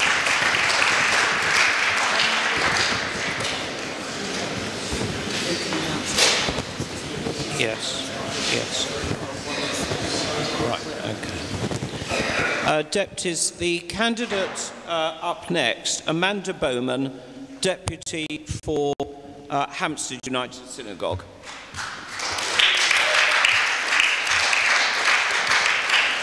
While we're waiting for Amanda, there is a ballot box open for vice presidential candidates if anyone is unable to remain. I'm not quite sure what the location of the ballot box is. It at the back? Ah, uh, yes, standing right there in the yeah at the back back of the hall where Marius is, the International Affairs Officer, who some of you may not have met yet. Marius, would you like to wave to everyone? Thank you. Right, Amanda, you'll have four minutes to speak. Uh, you can see the screen to your right, which will tick down. There'll then be four minutes for questions, and anyone who hasn't, uh, if you haven't used up your four minutes, it'll be added on to your answers for questions. Thank you. Amanda. There'll be no rousing slogans or jokes in the next four minutes. That's just not me. What I am is a strategic operator, someone who listens and consults. In addition, I'm an optimist.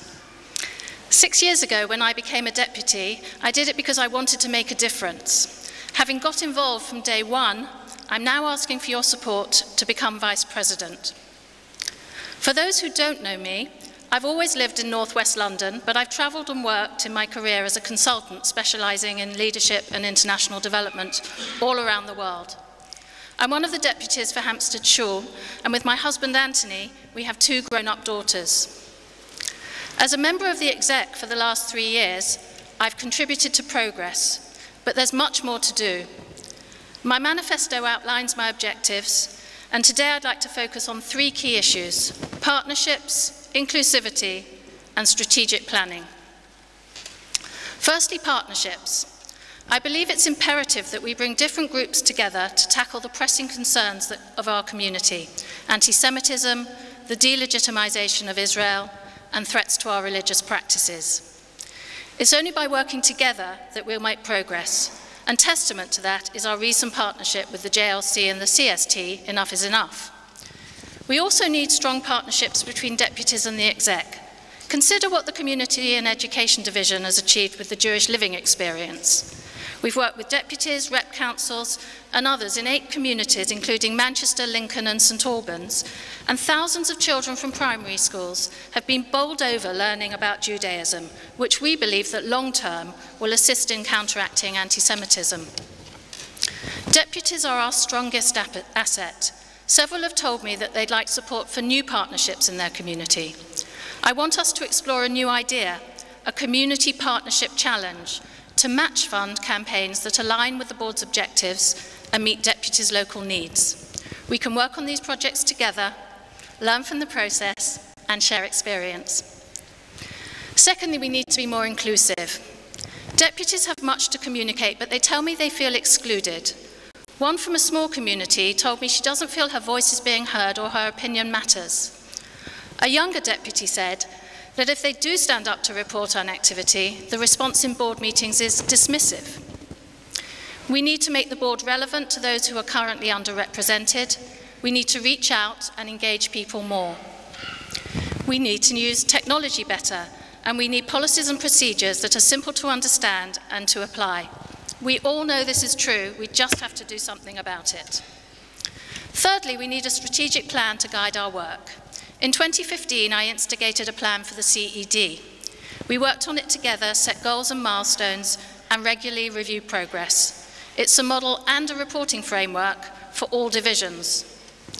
It's famously said that the best way to predict the future is to create it. Having a plan that we build together gives us the best chance for, to create our future and to raise the money to pay for it. I've the qualities you need for a vice president. I'm strategic, I'm consultative, I'm pragmatic, and I'm a partnership builder. What's more, I've demonstrated that I have the ability, determination, and energy to deliver. Up to now, you may have known me as the chair of the Board of Deputies Social Action Group or the Gender Equality Champion. Today, I've talked about one, how partnerships will help us achieve more, two, the need to make the board more inclusive, and three, how a strategic approach to planning will give us all the outcomes we desire. No rousing slogans, no jokes. Just give me your vote. Thank you.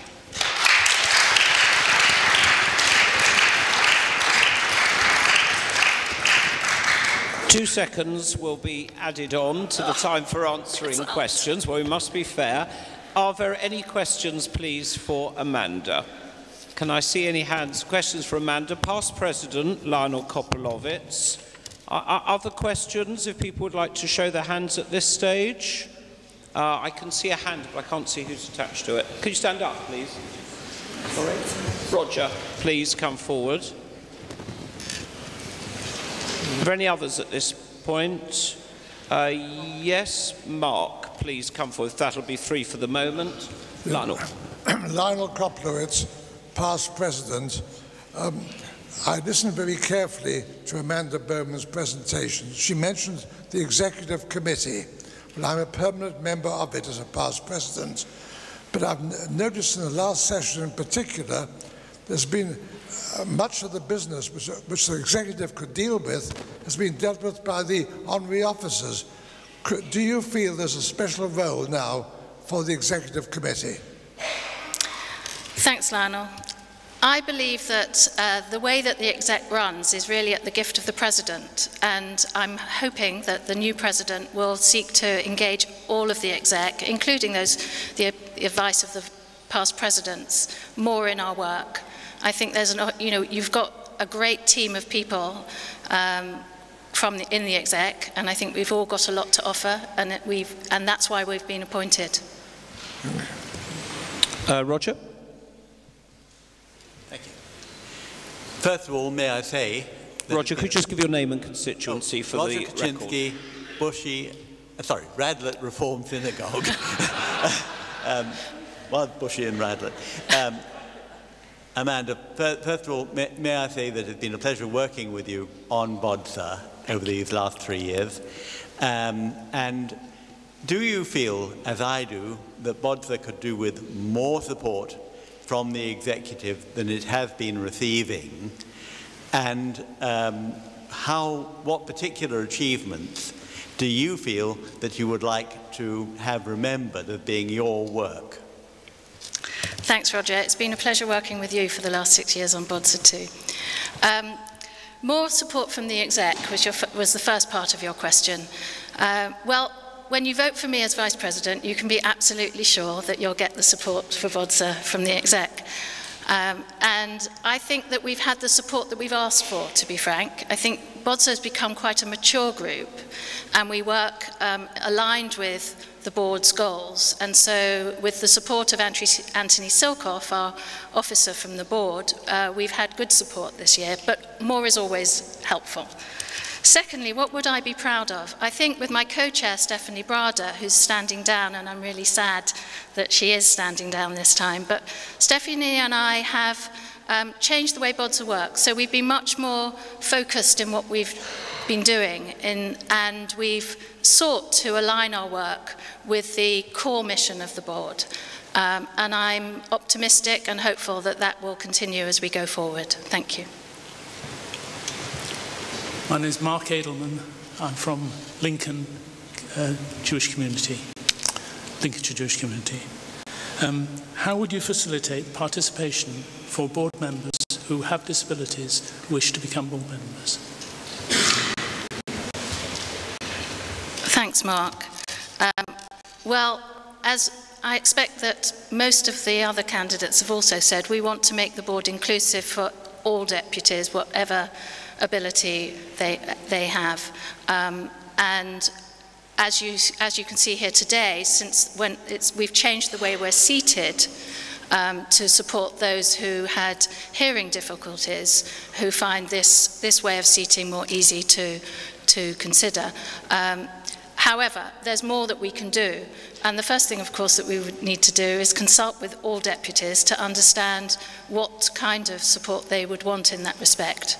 Um, I'd like to see more ways for deputies to be able to get involved with me in meetings if, without actually having to be in the room. It's great to have us all in the room, but if, if you're unable to be here, I'd like to see more use of web conferencing um, and uh, ways for using technology to bring more people into the work of the board.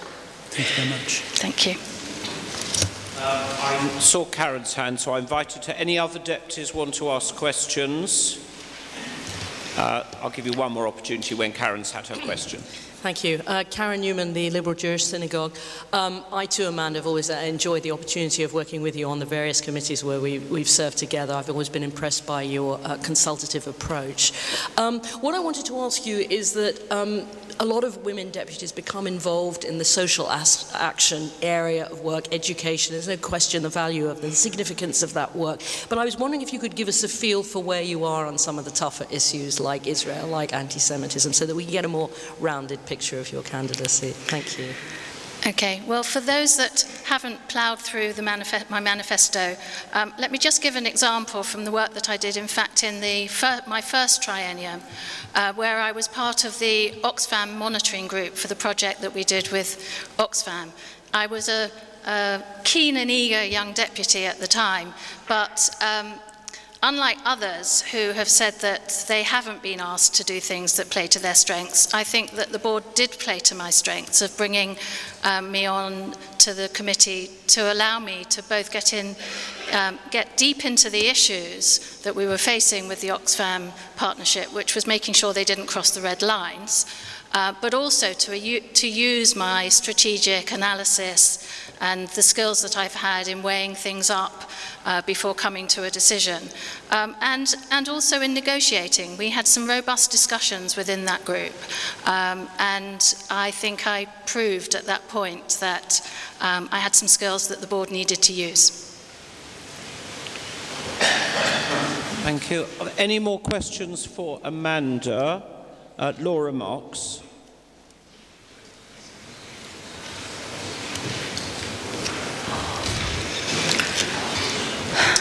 Uh, Laura Marks, the MRJ. Um, Amanda, you've talked a, bit, a little bit about the living, um, the Jewish living experience. I always forget its name.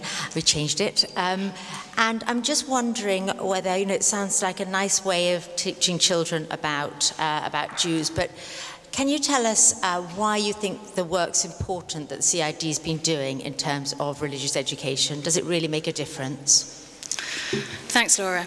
So, um, there are two parts to that. The work we do in education is split between two areas. It's the work we do to champion faith-based education, and particularly, of course, Jewish schools, um, which is critically important. The other side of that is the work that you're talking about, about educating young people and others uh, more broadly about Judaism. When people from any faith get to know someone from another faith, we know that I've run out of time. It's good. It's good to get to know people of other faiths. I'd like to thank Amanda Bowman. Thank you very much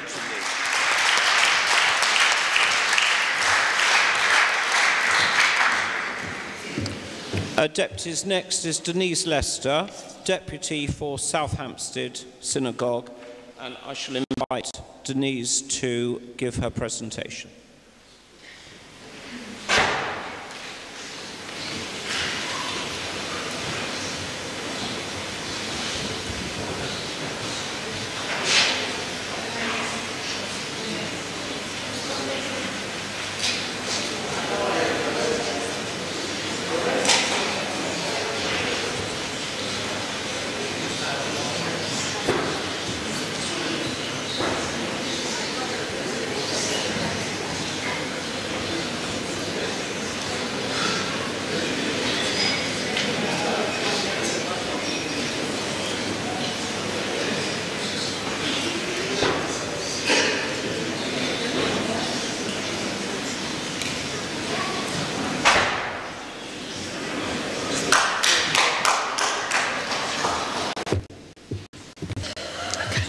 Going to have four minutes to speak, and the screen on your right will be counting down so you can see it. I won't give any interruption uh, until zero is reached if you use up all your four minutes. Any time that you don't use up will be added on to the four minutes which deputies will have to ask you questions, and the answers to the questions, but not the questions, will count in the four minutes. So, Denise, when you're ready. Good afternoon, deputies, and to those listening on live stream. I seek your first preference vote for Vice President so that I can use my experience and skill set to serve the board and our community. I have been a deputy since 1994. That's 24 years. I have extensive experience. I've served on two divisions for many years, the Defence and Interfaith and Communities and Education divisions. Additionally, as an experienced family law solicitor, I have been active for many years on the board's family law group. I have extensive media experience, having been trained by the BBC and the Law Society. I am a national spokesperson for the Law Society, principally on family law matters. In the Jewish media, I'm also on air as a regular contributor to the Jewish Views. I also organise the board's contingent to the annual AJEX Remembrance March to the Cenotaph. We must honour those who have fallen fighting for Britain and our way of life. As a solicitor, I have a skill set that means that I swiftly identify, analyse and solve issues. Professionally, I have extensive experience working with government departments on policy and legal matters. I think that the main issues facing our community are anti-Semitism. When I stood at Parliament Square to say is enough is enough, it spurred me to stand here today to seek your vote. Enough is enough, anywhere, in football, schools, campuses, the workplace, in the media. We must fight anti-Semitism and educate those who do not see it. Israel. Israel, we should give continuous support to Mazel on its 70th anniversary, Mazel on winning the Eurovision, and to anyone that seeks to destroy the state of Israel we should say no. Enough with the missiles from Iran. I seek the following greater funding for the board. We need more funds to do our great work. Maintaining our international position within the European and worldwide Jewish communities, especially post Brexit giving support to them so they can maintain key practices such as shechita, circumcision and also combat anti-Semitism. I seek real change so that deputies can feel even more involved between meetings and their talent used. I seek greater involvement of younger deputies. There should be a succession strategy as they will be our community's future leaders. More engagement with a dynamic change the board campaign so that their ideas can be shared and if approved implemented.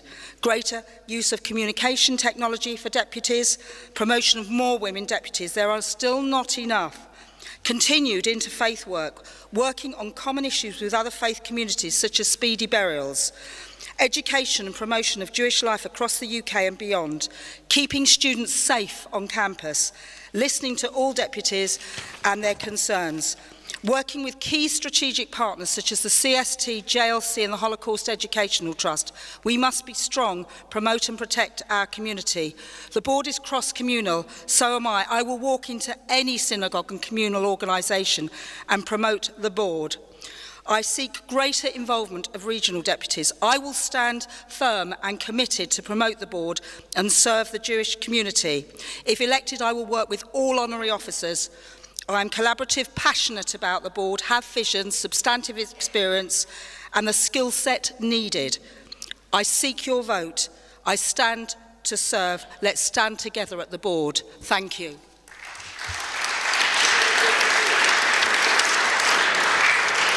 Thank you. Three seconds will be added on to the time. Are there any questions, please, for Denise Lester? Any questions? uh, Flora Frank, and Brian Mark.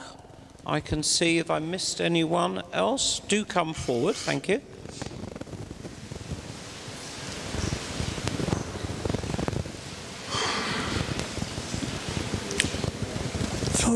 Flora Frank, British Emunah. Denise, you quite rightly said that we need to find more funds for the board. Um, can you tell me, every past president and vice president have agreed with you passionately about it, and it's very, very difficult. We've deliberated how we're going to do it. Have you any ideas? It's a difficult one. I'm not trying to catch you out, but really, how would you go about getting more funds? How would you get more, uh, you know, the community to value the work that we do? Well, I think first of all, our defining moment um, in the last 24 years that I've served was in fact the Parliament Square March, which was um, organised and gave us the visibility, and we need to maintain that visibility. In terms of getting funds, I think, frankly, we need to work with the major communal organisations. I know that there is a limited community pot, and I, we need to work and use the database that actually hasn't been um, utilised locally within our deputies and synagogue organisations so that we develop a more effective fundraising communal strategy. My synagogue happens to support the board and we have some, uh, you know, some substantive donors. Uh, we're thankful for that. But there is a reach that we need to reach, including in particular the unaffiliated and those that do not actually subscribe. Thank you. Brian. Uh, Brian Mark, Jewish Student Chaplaincy Scotland. Denise, I know you are the spokesman for the Law Society and I've read some of your material because it comes to my firm. In family law cases, criminal investigation takes place before the judge makes findings in family law cases. I'm asking you about the Jewish Leadership Council. Before the judge-led inquiry takes place, should there be a proper criminal investigation by the City of London Police. The same way as in family law, you investigate the criminal matters and then you come to the family matters. I'm going to, I'm going to say to you um, that we work with the JLC um, with a strategic partnership that should be continued. It is not for me individually to comment on whatever um, potential um, decision making that the police and the CPS may make or others may make. I'm watching it all play out in the media. Um, it is not for us necessarily to um, step into that fray personally. Um, there, there, is, there, is, there, there is a distance. I was concerned. I'm extremely concerned about what's happened, but um, I, I, I don't want to interfere. Very clear. Any other questions? Well, if there aren't any other questions, thank you very much. Thank you very much. Denise Lester. Thank you.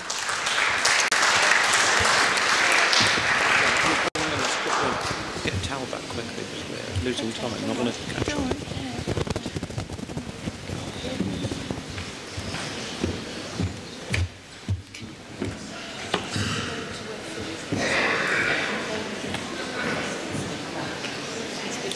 Deputies, the next candidate will be Tal Ofer, the deputy for Chigwell United Synagogue.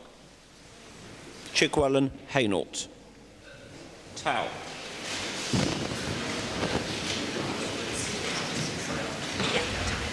Right. Tal, you're going to have four minutes to speak. You'll see the screen on your right will be ticking down. Uh, I will not interrupt you uh, and you will see for yourself when the clock kicks down to zero. I will then stop you if you're still speaking. Um, there will then be four minutes for you to answer questions. Uh, any time unused of your four-minute presentation will be added on to the time for answering the questions, and the time for asking the questions won't count. So whenever you're ready, four minutes. Thank you. Thank you. Good afternoon, deputies. We read in Parashat Behar about the issue of land ownership and how we're entrusting in someone to look after our land. And I think there is a measure that applies for the role of the vice president. Being an honorary officer isn't something for the HO's personal gain. It's about holding a position to benefit you deputies and the whole community. As I decided to stand for vice president, the question that really dominated my mind was not what can I get, but what can I give? I'm standing for election because I have a lot to give on the issues that matters for the community. whether it's the fight against anti-Semitism, defending religious freedoms, countering the BDS, and deepening interfaith relations. I have the time, passion, understanding, and experience to deal with all of those key issues. We are inheriting a board in a great shape, thanks to the tremendous work done by the honorary officers. Therefore, it's our duty to maintain that and do even more because the expectations of our community evolve. Just as in the e-commerce technology world where I'm coming from, where the expectation of the end consumer is to see same day or next day delivery, it also applies to our community. They want to see us day in, day out, and get things done for them. Why should you vote for me? Having been on the executive committee for the past three years and the Defense and Interfaith Relations Division, I have first-hand experience of working with all the honorary officers as a team player. Taking part in shaping the board's policies, it is essential for experience for anyone who wishes to become a vice president. And it's important as well to know and maintain good working relations with the board staff, which I have. As we speak, the tension is rising at Israel's north border, and we can all hope and pray that it's not going to escalate further. But if it does, we need to be ready to stand and defend Israel. As someone who lived in Israel and served three years in the army as an officer, I have a unique perspective and understanding of the reality on the ground. I have done media interviews and articulated Israel's case in previous years, and I'm ready to speak up should it be needed. I'm also having a high profile on social media, on Twitter, and have many leading politicians and journalists following me. On anti-Semitism, all the candidates here stress the importance of eradicating it. But I'm the one with the track record. You have read my manifesto how I was dealing with anti-Semitism in the Labour Party already in 2014 under Ed Miliband's leadership, and more recently with Jeremy Corbyn. Dealing with anti-Semitism and protecting religious freedoms isn't just about statements, it's about getting things done. And we can do it by building alliances inside and outside the community. Empowering deputies inside and outside plenaries is essential, and embracing technology, in my view, is key. I bring practical solutions and how getting it done by giving every deputy a board email address which can help them the, to carry out their work when they're dealing with politicians, media and organizations an online forum where deputies can hold the executive to account, and sub-forums to ease the work of the board's divisions. I also pledge to make all plenary documents available online in the interest of transparency. I strongly believe in making the board more inclusive and accessible to Jews from different backgrounds, including women and young people. We hear quite often about the need to involve them and inspire them. What could be more inspiring than electing me as a vice president today? But I'm not asking to be elected because of my age, but based on merit and based on consistently delivering results for our community. So please give me a vote, and together we can do great things for our community. Thank you.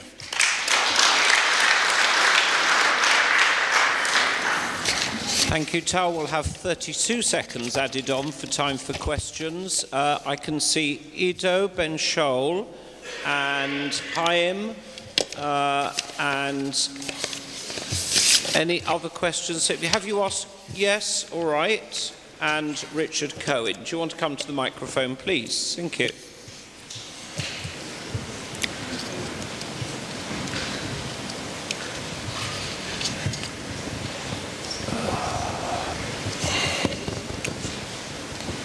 Do come and answer your, ask your question. Thank you. Hi, Ido Ben Shaul, West London Synagogue. Uh, you mentioned uh, your experience, your professional experience. Uh, now, in the case of uh, lawyers and in the case of spokespeople, I can see how does that contribute to the work of a vice president. But how does e-business relate to the board and to your proposed activities uh, on the board as a, as a vice president? Thank you. Thank you for the question, Ido. So in my professional work, I'm a country manager for uh, a technology company that helps retailers um, deal with cross-border challenges in e-commerce. And what it means that we have to go and to listen to the concerns, the pains that they have in the businesses and try to tailor a solution how to make them work, how to grow revenue. This can really apply in how we are operating as a board. We need to listen to the concerns of different constituents across the country because the concerns of the ones in London may not be the same as the ones in Glasgow or in Sheffield. So we need to work in a very consultative way to listen a lot. And in, I can tell you in my approach in business, and I will bring it as well to the top table, I believe in a 70-30 approach, which means 70% of the time listening, 30% of the time talking. Because by listening, you are in much more control and you can have much more information and know how to, uh, how to handle the, uh, the issues that you are dealing with. I'm also very experienced in building partnerships in my work, so I have to deal with lots of other technology companies to look for different areas of growth, which will be very, very relevant for the work of the board. As I mentioned, if you want to tackle the issues of anti-Semitism and Shechita and Brit Milah, we need to work on how we're building alliances inside and outside our community. So I'm really, really experienced in doing that. So I hope that this answers your question. Chaim Ben Zion Snobens Masorti, Alan Yachi. It's nice to see a fellow Israeli standing for the uh, VP.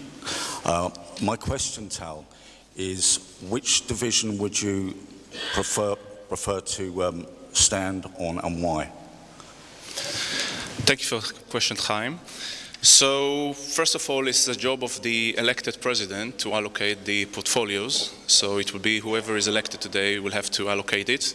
Uh, based on my experience at the board and my, uh, my previous experience, probably I would say that I would be happy to stay at the Defense and Interfaith Relations um, should I am elected. But of course, whatever role that the president decides to task me with, I'm going to do the best job that I can. I'm going to give 120 percent.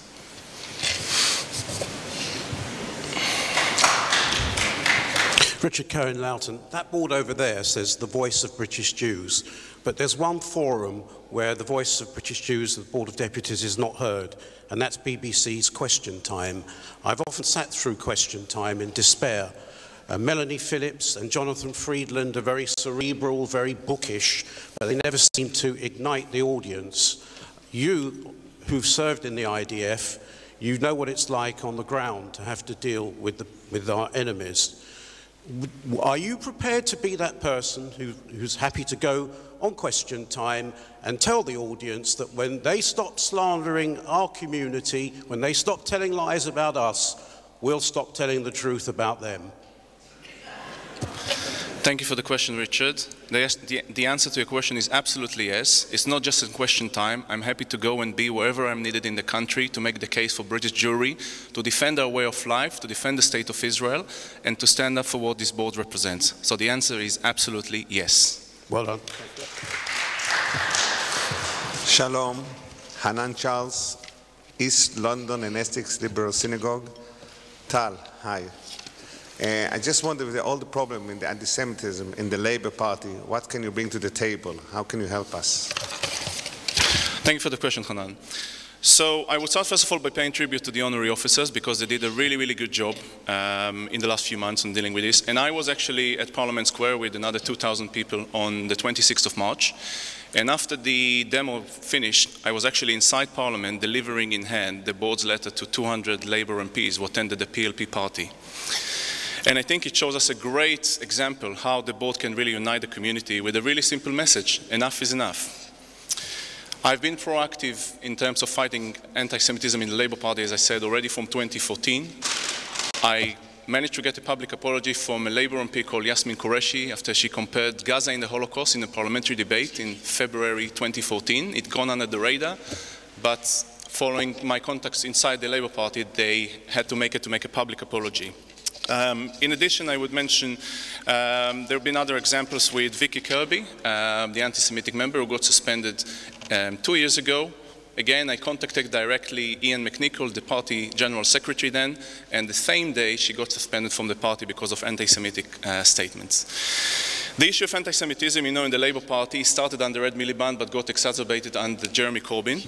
And the way to deal with it is to keeping uh, the pressure on the leader's office uh, and we have to look at what happens with the high-profile cases of Jackie Walker and Ken Livingstone. We obviously welcome what happened with Marc Wadsworth, but we need to see those high-profile cases, what, what comes.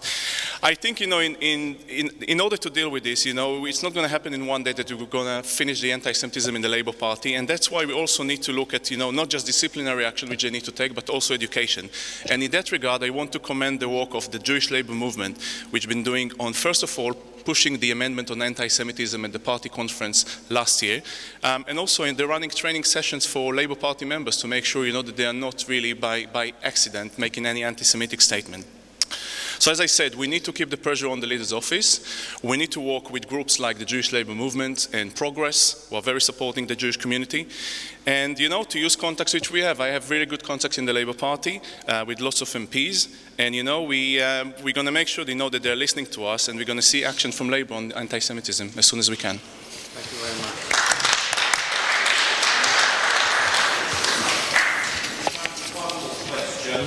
Uh, Bruce Greenberg.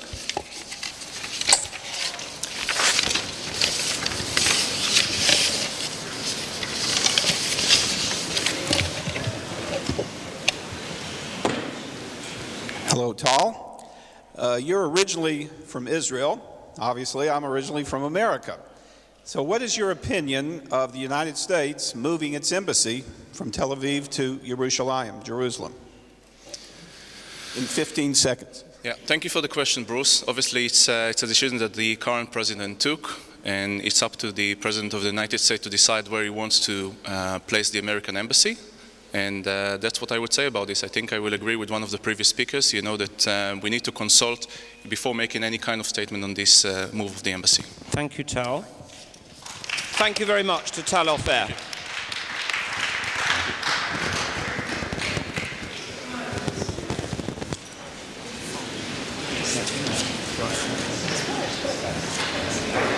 The next uh, candidate is Gary Mond.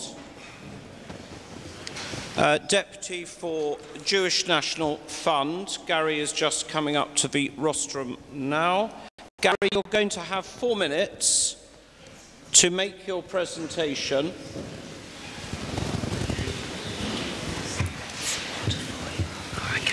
And Gary, you'll see the time that you've got left on the screen to your right. Uh, I would stop you if you go over. If you go under, any of that time will be added on and the time for questions won't count, but the time for your answers will, and you'll have an additional uh, up to four minutes. Gary, when you're ready. Thank you. A few words about me to begin, ladies and gentlemen. I'm an economics graduate from Cambridge University and a qualified chartered accountant. I started my own business 26 years ago, which involves the presentation of training courses in banking and corporate finance to bankers, lawyers and corporate executives. I've considerable experience politically. I've stood for Parliament twice, served as a borough councillor for six years and have been a board member of Conservative Friends of Israel since 2007. On the Board of Deputies, I represent the Jewish National Fund, which is one of the major Jewish charities and which raises many millions of pounds every year for projects which develop the Negev in Israel. I've also served on the Defence and Interfaith Division for the past three years and have additionally assisted the board as the returning officer in the October by-elections and have also served as a scrutineer on three previous elections. For me, the most important issues are the ongoing battles against anti-Semitism and the attempts to delegitimise the State of Israel. And in recent times, these two issues have morphed into one. When we hear our enemies say that Israel is an apartheid state, that is not only untrue, it's also anti Semitic.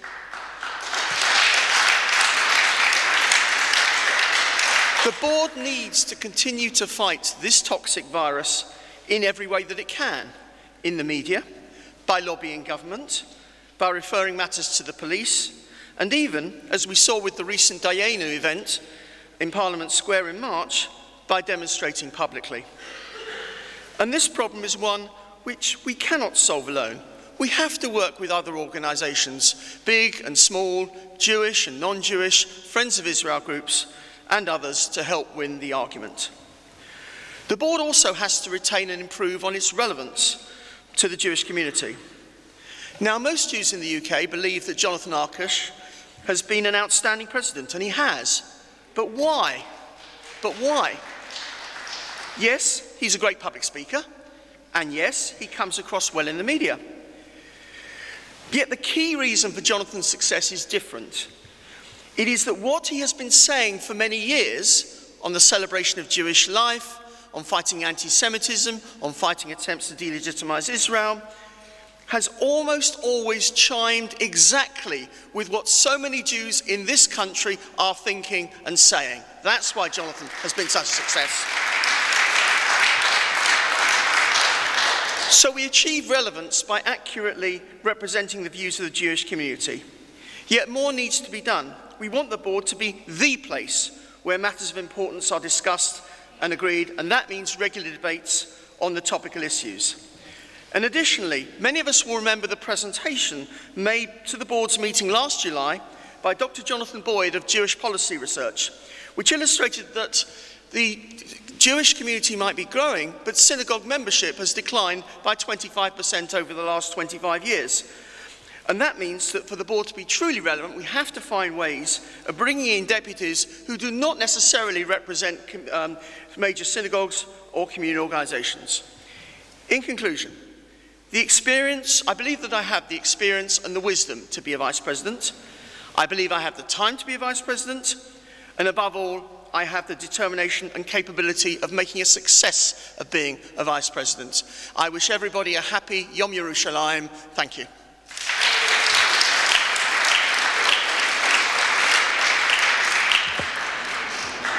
12 seconds will be added on to time for answering the questions. Questions to Gary Mond, please. I see Richard Cooper at the back.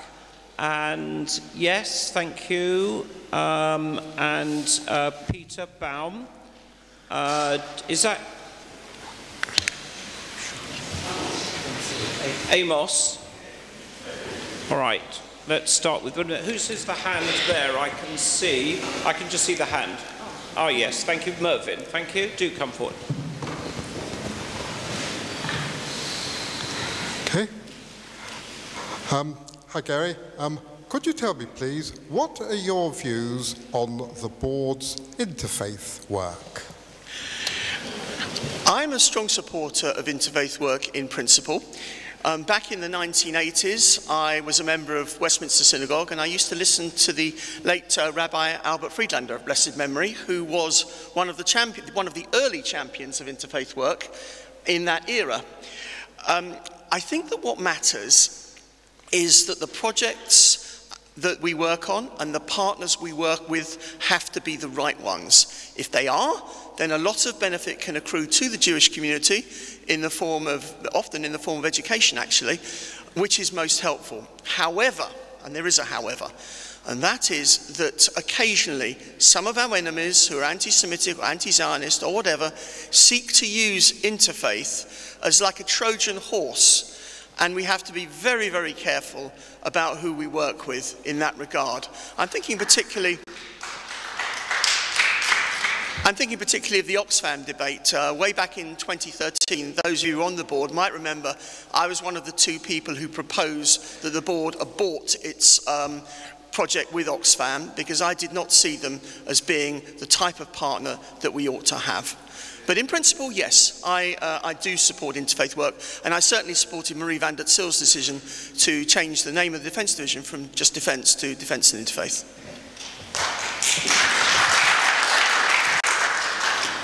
Good afternoon, Gary. David Simmons, Northern Pinner Liberal Synagogue.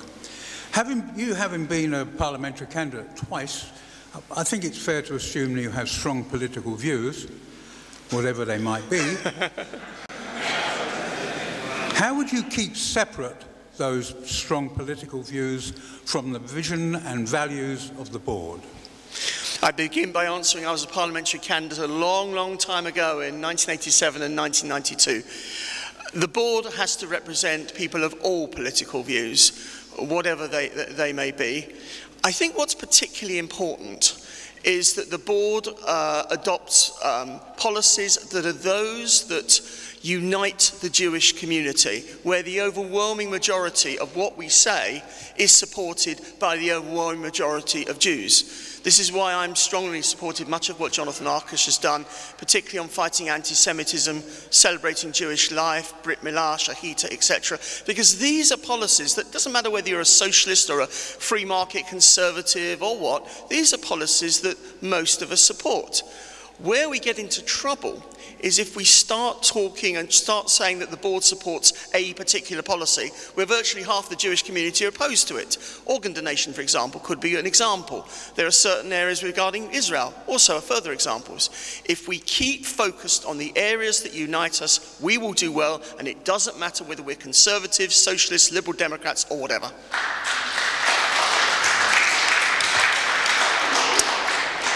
Peter Baum, Southend and Westcliff Hebrew Congregation. Gary, what would you do to help the board uh, defend the state of Israel um, against those groups who continuously seek to delegitimize Israel? I think it's very important that we continue to support Israel in every which way we can. I'm here referring to the state of Israel. I'm not referring to any particular grouping within Israel. We have to support Israel's existence, and more than that, we have to stand up against those who would seek to delegitimize it. But to answer, Peter, your question quite specifically, I do foresee it being advantageous to the Jewish community if the board can work together with other pro-Israel groups wherever possible. I'm thinking of some of the Friends of Israel groups, even working with Labour Friends of Israel or Conservative Friends of Israel for that matter. We need to join forces with our friends to help in the campaign to educate um, young people in this country about Israel, both Jewish and non-Jewish, uh, and essentially working together is going to be the way forward. Um, as regards groups that delegitimize Israel, we need to fight them in every which way we can, as I illustrated in my speech. Uh, Amos Schonfield, Deputy for Yachad. Um, I'm interested in the work you talked about your constituency, JNF, uh, and in helping the, the Negev flourish. Yep. Um, a recent action of Kakal in the, in the Negev, in helping the Negev flourish, was the expulsion and demolition of Umm al-Hiran, uh, a Negev Bedouin community, in order to build the Jewish community of Khiran. 170 families are now homeless. Now, in thinking about the diversity of opinion in the board, you talked about staying away from these issues. How will you, as an HO, um, hold the diversity of not only two opinions, because you and I will disagree vehemently on this, um, on an opinion that is so close to your, to your heart in terms of the constituency and the work that your constituency is doing? Firstly, the actual demolition decision is not something the JNF made. It's uh, something that's a matter for the Israeli government. Can I also say that the JNF has also supported a number of projects with the Bedouin community. I personally, I personally signed off on behalf of the JNF on a project for some 300 computers to be made available to uh, the Bedouin community in the Negev. So, uh, you know, th there is no uh, discrimination on my part. But coming back to try and answer your question directly, the Board of Deputies has to represent everyone, and on issues where there are divisions, such perhaps in certain aspects of policy regarding Israel, we need to be silent. Simple as that. Thank we you. need to be silent. Gary? Thank you. sorry, Mervyn. I'm sorry, Mervyn. There's no time. There's no time. No, you, you, I will choose you for another candidate should you want to ask a question. Uh, Gary Mond, thank you very much.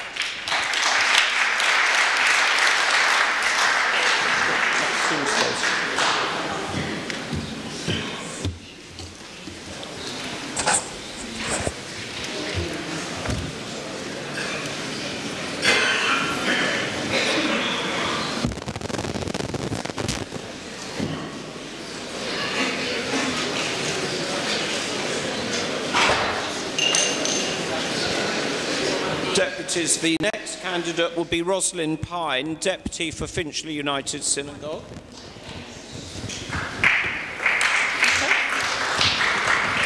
Rosalind, you've got four minutes for your presentation. The time can be seen on the screen to your right, and I won't interrupt you uh, unless or until you reach uh, zero. There'll be four minutes for questions, and the time for answering the for asking the questions won't count, but the time for answering the questions will, will count. If you have any time left over from your presentation, that'll be added on for your time to answer questions. When you're ready, Rosalind. Okay, I think I'm ready now. Um, in the year 2000, the Second Intifada was unleashed upon uh, Israel, and with it a host of anti-Israel events up and down the UK. I was living in Manchester then, And I think it was a combination of bloody mindedness and masochism. I started going to these events up and down the country in London. And you'd get there, there'd usually only be the same three or four of us. We got to know each other very well, but never anybody from any representative Jewish organization. The atmosphere was absolutely toxic. It wasn't about this or that Israeli policy they didn't like. This was raw anti Semitism masquerading as um, anti Zionism and a faux concern for human rights. I realized that the only way to defeat this is to know much more than they did. And so I embarked on a steep learning curve uh, about the whole background to the, to the conflict, the law, the history, what have you. And this curve has continued to this day. And just to say that eventually I learned how to silence the likes of Gerald Kaufman, Ilan Pappé, Ghada Karmi, and even twice from the audience of Question Time, BBC's Question Time, Jenny Tonge, which was quite daunting, I can tell you. At the same time, I was always also sending off letters to the press. Uh, I was always writing, writing in response to nasty articles, and I actually managed to clock up since that time over 20 letters to the Times alone, especially, as well as many other um, publications. So I've honed my letter writing skills, I have debating skills, I think, and a knowledge which I think will stand me in good stead here. I also decided that to act alone, you can only go so far. And in 2013, I decided quite belatedly to join the board so that I could continue in a more effective forum to do what I've always done. Turning to the challenges that face Anglo Jewry, I'm not going to bore you and repeat them because we know what they are. But in order for the board to face these, we have to make it more relevant. We have to make the board relevant to what we're doing. And to do that, we need to have the young. The young are the, the key. We need to draw in young blood. And how are we going to do that? The only way to do that is to send them out into synagogues of all denominations, to campuses, um, to even sixth forms to explain what it is we do, because there is a widespread perception that the board is irrelevant, it doesn't speak for us, it's just a talking shop. And the youth can do that, they can dispel this, this myth. But once here, we need to retain them. We need to retain the young people, and the way to do it is to give them something meaningful to do. In fact, that applies to all of us. Give us all something meaningful to do because many of us feel quite useless, even sitting on a division. We just do not have enough uh, outlet for our diverse skills and talents.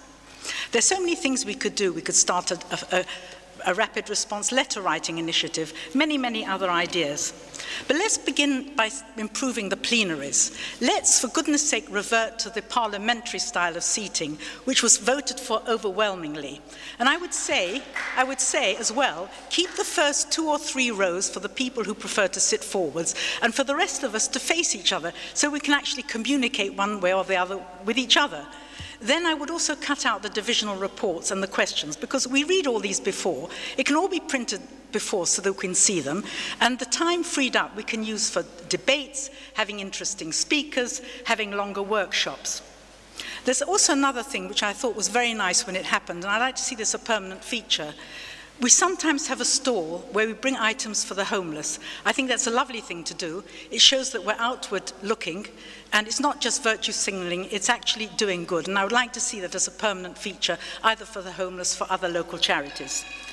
Thank you, Ross. That will conclude your address. Oh, Time's up. Time's up. Four minutes. There's going to be questions if anyone would like to ask. I can see Sh uh, Sheila Levitt. And behind Sheila Mervyn, I think I will, of course, because you missed out last time. Yes, um, do come forward. Yes. Edward, sorry. Yes. Right, that'll be three. And were there some hands? That um, Rob, Rob Sassoon, and the lady behind Ros, Rob Sassoon, behind Nathan. Do yeah. Thank you. Sheila. Sheila Levitt. EHRS. We have a relationship with the Council of Christians and Jews, but what will you do to have a good dialogue with the Muslim community? Well, I'm very much for having interfaith with the Muslim community, but I have one caveat. Any organization we have interfaith with, we should have one understanding that the nation state of the Jewish people, Israel, is not up for negotiation.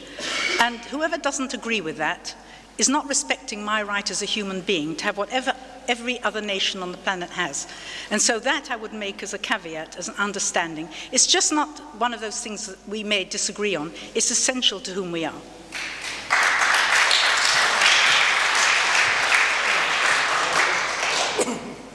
Edward Cohen, Ealing United Synagogue.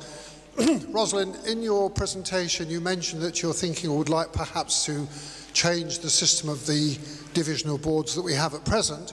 But given the system that we have, if you were elected Vice President, which of the boards would you like to be put in charge of and why? Ah, no, let me just make it clear. We get the divisional reports printed out so we can read them before we come. Uh, there's only one division, the one I've sat on, and the one I would have be competent is the international division. That would be my speciality, and that's what I would like to do. Thank you.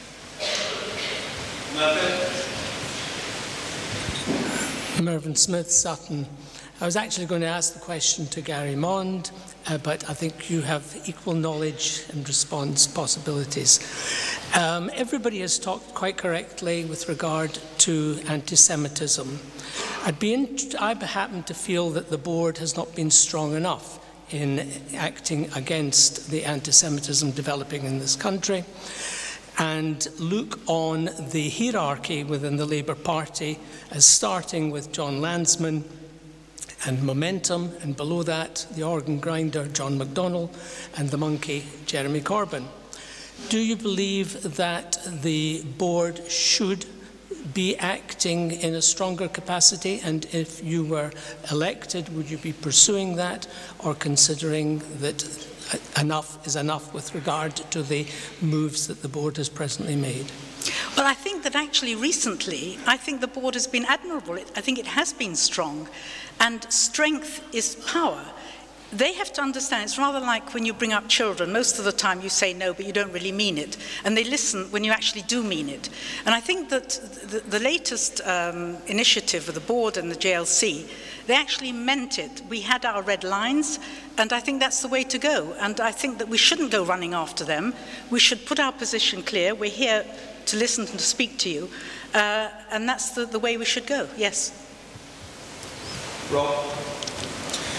Thank you. Rob Sassoon, Deputy for Limmud. Um, you talked in your speech about uh, involving more young people in the work of the board, which is, as I'm sure we'll all agree, a very laudable uh, aim.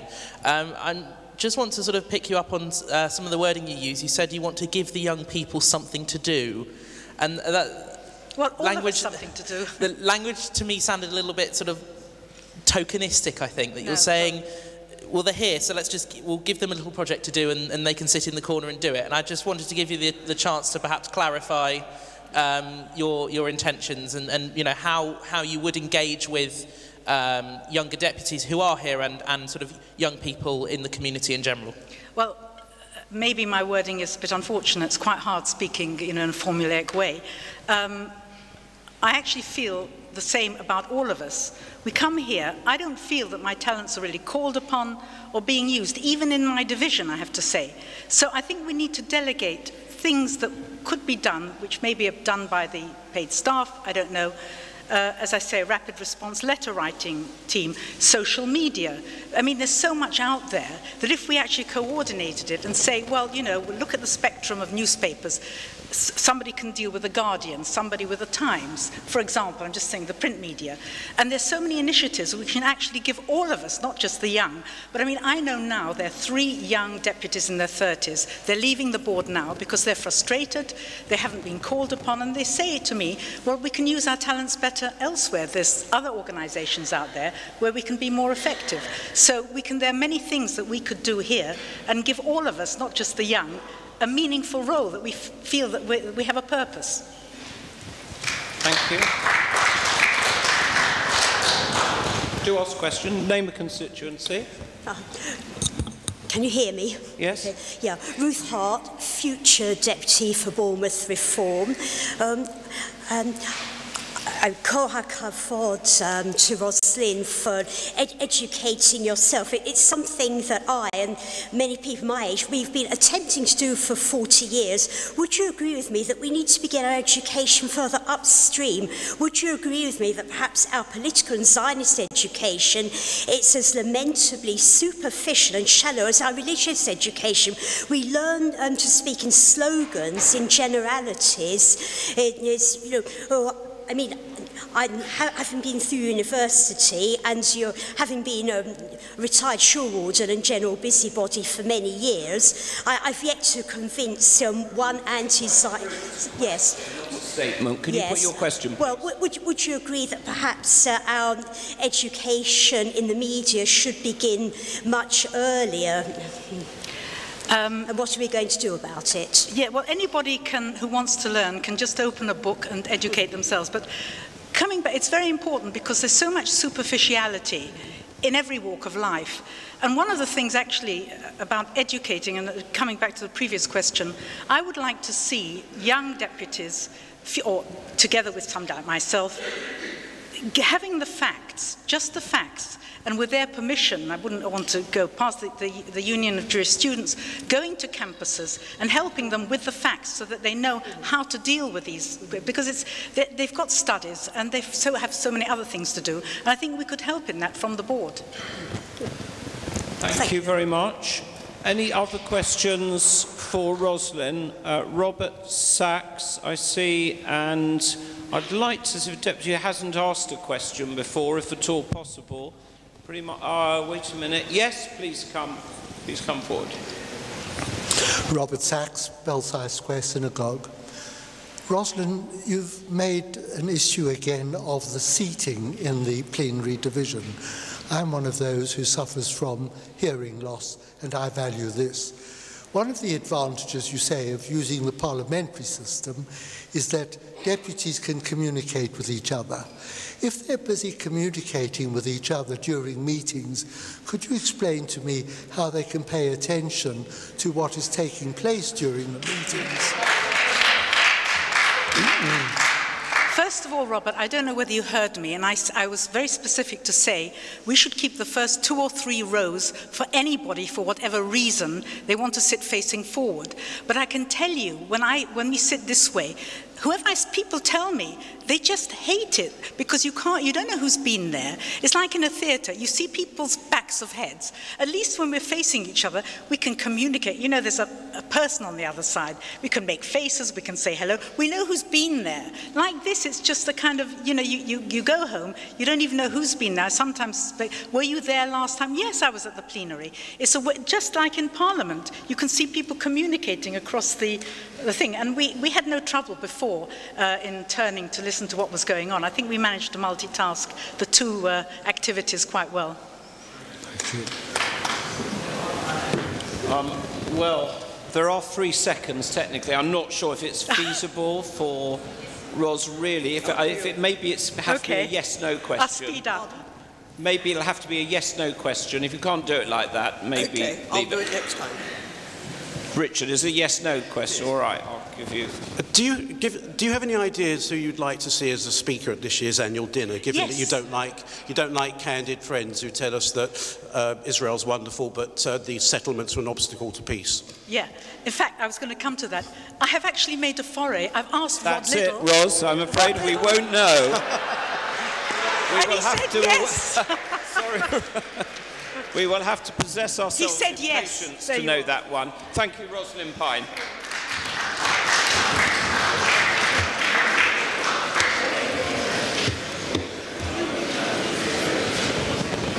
Deputies, the last candidate for Vice President who we're going to hear from is Robert Festenstein, the Deputy for Prestwich Hebrew Congregation.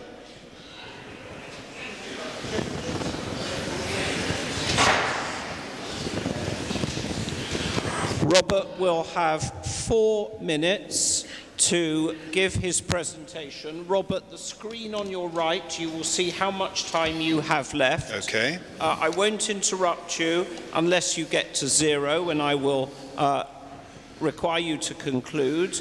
There will be questions for four minutes. The time for asking the questions won't count. The time for answering the questions will. If there's any time left over from your presentation, it'll be added on to your time for answering the questions. Robert, when you're ready. Thank you very much. Deputies, good afternoon. We were slaves to the Pharaoh in the land of Egypt. At Pesach, we speak as if we were brought forth from slavery and celebrate that we are free. After our emancipation in the 19th century, the return to our homeland in the 20th, now in the 21st century as a community, we are facing an attempt from our enemies to diminish us, to return us to second class citizen status. Naturally, at such a time, it is the leaders of the Jewish community in general and the board in particular that people look to for leadership. This is my bid to be part of that team. A vice president needs to fulfill three requirements to be representative, collaborative, and to lead. Representing people is what I do.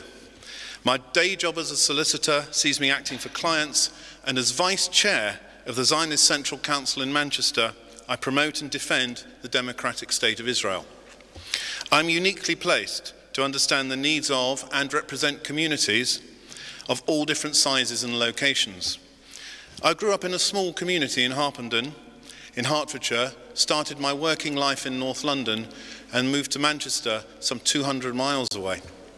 I understand the reality that for regional deputies, attending a plenary sometimes means a whole day out, and the commitment that that requires. Collaboration is the best way forward.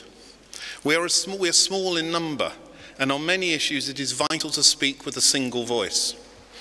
We need to avoid duplication of effort.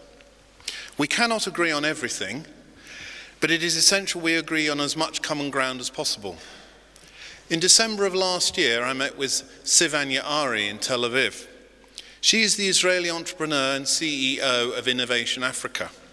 This is an organization that has brought clean drinking water to over a million people across Africa. I was instrumental in bringing her to the UK to speak to the House of Commons and to a joint Zionist Central Council Board of Deputies event in Kentish Town in, Mar- town, town, town in March of this year. the benefit of this collaboration saw her exposed to a much wider audience. Leadership is about innovation and a direction to achieve a common goal. There is a significant concern at the increase in criminal offences directed against Jews. I've spoken with the campaign against anti Semitism, and they've indicated that they would be pleased to work with us in sharing their resource with their guide to hate crime. The board should be informing deputies how to deal with the increase in these offences, particularly on social media so that they in turn can inform their own organisations and schools as to what action should be taken. Much has been said about encouraging more women and younger people to become deputies. I know that in Manchester, some of the schools, because of their membership, could send more deputies, but don't.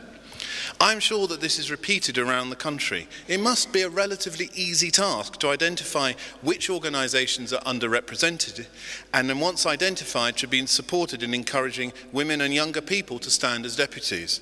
I believe that in this simple way, within a few months, we can start to change the demographic of the board. Finally, we need a strategy of dealing with the political parties. We are not being taken seriously.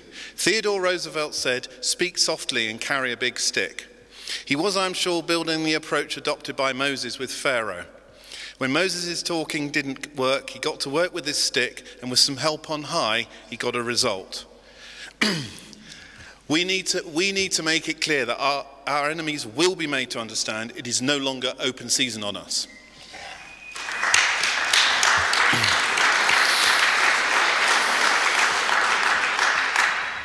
Spencer Nathan, see, and Yes, yes, thank you. Uh, yes, thank you very much. Let's start with those with three, please. Spencer. Spencer Nathan, Bournemouth Hebrew Congregation till midnight, and thereafter Edgware United Synagogue. Um, I, put, I put this to you as a question as a regional deputy. What do you see as the unique role of the Board of Deputies in the regions? The JLC are already represented and funded in the major cities, the staff working mainly in an advocacy role. Where should we work together and where do, you, where do we contribute to Jewish life in the region separately? The regions are really important. When I was, when I was a child, there were many, many towns and cities around the country which had Jewish communities, and many people in the wider community knew somebody who was Jewish. What's happened now is that there's been a centralisation of Jews in London, Manchester, Glasgow, one or two other centres. So in answer to your question, how should we work with the JLC? I think what we should be doing is providing resource to the deputies and also learning from them what it is that they require. Until we actually have a proper dialogue with the local and with the regional deputies, we can't know what it is that they need.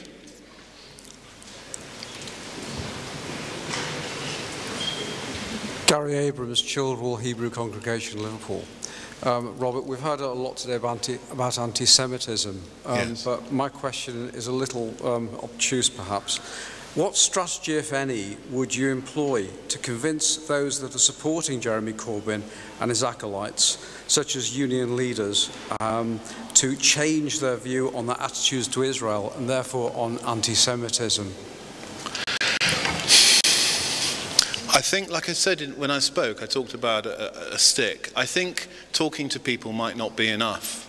I think what we need to do is identify in those organizations, there's plenty of them, trades unions, some charities, academia, and say, why are you treating the Jews differently to the way in which you might treat people from a black community, or why you might treat women? And so one of the things I will be doing is looking at see where it is that they're crossing the line, where they're breaching legislation, where they're breaching regulatory guidelines, particularly with charities, and start hitting back in that direction. I think talking to people is fine, but the problem is, the problem is that just talk isn't going to do it. We need to do something. So if you threaten them, I don't mean physically, but if you threaten them with having their funding taken away or threaten them in relation to the Equality Act, I think that's going to make them take us more seriously.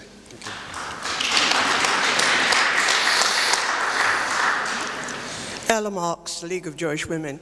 If we have any future discussion on reorganization of board and um, representation, what is your opinion of having a fixed term cap on the number of um, terms a deputy can be serving? without, without standing yes, down yes, for, for a term. I understand. I mean, it's difficult because you have you have people here without being indelicate who are perhaps over retirement age and one of the and one of the one of the problems you have is you need to use that experience so it seems to me it's not a question of fixed term it's about who holds that office should be made not made but should be understood to actually do something. It's not enough just to turn up, go and get your bagels on a Sunday morning, come here and listen to what everybody else says and go home for a, for a late lunch. You actually have to take part. It's not about how old you are or how long you've been here, it's about the effort that you put in.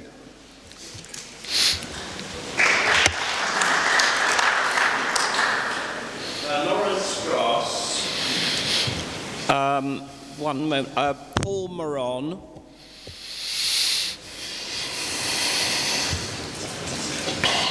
Sorry? Yeah, and Kerry Labeth. Robert. Hi. There has been some disquiet amongst some deputies that you appeared in a video film with Tommy Robinson, leader of the English Defence League, and are supposed to be associated with some extremist groups up in the Manchester area. Would you care to comment on those allegations? Well, I have nothing to do with Tommy Robinson. He's not my client. My client was a chap called John Fletcher. He runs a off license in Sunderland. He put up a poster outside his, uh, outside his premises saying, fight terrorism buy British. And the police rang him up at 8 o'clock one night and said unless he took it down within 30 minutes, they'd take his, his license away.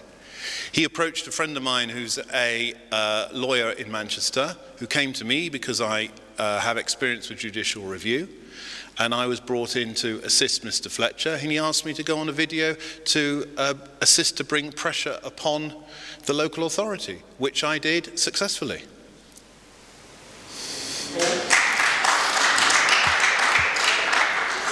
Paul, Mor Paul Moran, Glasgow Jewish Representative Council.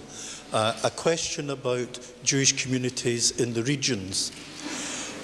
What strategies and what action do you think that as Vice President you could take to enhance the ability of Jewish communities in the regions to combat anti-Israel propaganda and to promote the Israeli case? Okay. Well, as I said before, I've had a conversation with the campaign against anti-Semitism. They have a guide on hate crime. I think we should be using that resource. I talked about collaboration before. And I also think, also think there should be a more of a two-way, a two-way street. So I talked also in my, I think one of my emails I talked about having a deputies area uh, on the website, on the Board of Deputies website. and I strongly believe in having, um, when, when the board goes up to different areas, it would be very useful if they could communicate with the deputies when they're going, so there's a, an opportunity always to meet with the officers or the staff when they go to, say, Hull or Newcastle or Liverpool. And it's about developing, like I say, a two-way street. And if there's a possibility of developing some sort of fund as well, then that would be, that would be a good thing in my view. Um, just a follow-up question on the video. Um, how can deputies trust your judgment after you've agreed to appear in a publicity video with an anti-Semitic white nationalist?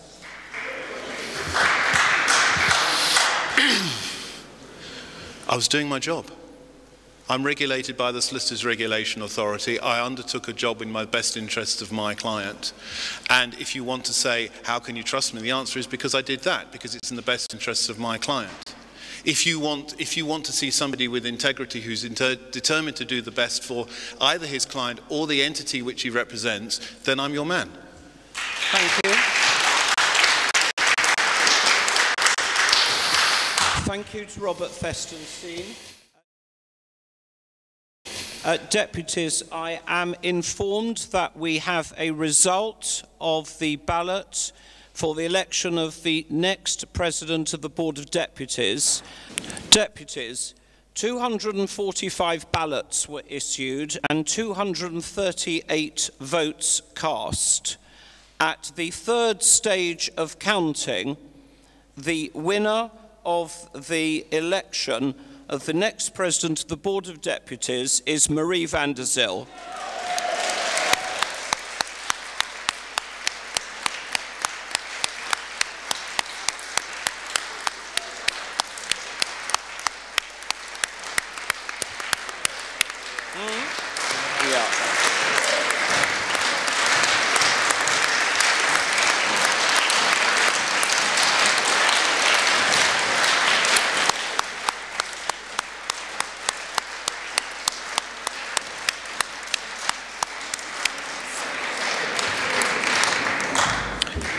I shall now invite Marie to say a few brief words. Marie, if you would, from the rostrum. Thank you.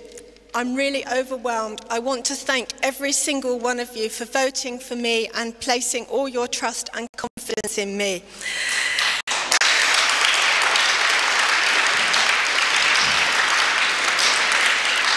Can I, can I please thank Jonathan, Jonathan Arkush, Richard, Tony Leifer, the returning officer, Rachel, you've done an amazing job. All of the board staff, Bernice, Greg, Joel, Gillian, you've all been an amazing, an amazing team. Can I please thank my constituency, the Jewish Lads and Girls Brigade. Neil Martin at the back has been a pillar of support and Lord Levy has believed in me from start to finish. I really couldn't have done this without my constituency. My campaign team, can I thank you all? You've been incredible, led by Adrian and Gary. Thank you so much. I want to say for my mum, I hope you don't mind, I know she'll be watching and be so proud. And unfortunately, my father's passed away, but I know that this would have been his proudest day. And for my family, thank you so much for being so tolerant with me at this time. It will be an honour and a privilege for me to serve you and the community, and I will put all of my heart and soul into my board role. I really look forward to working with Gillian and the rest of the board team going forwards and all of you. And I'd really like to thank you once again from the very bottom of my heart. Thank you.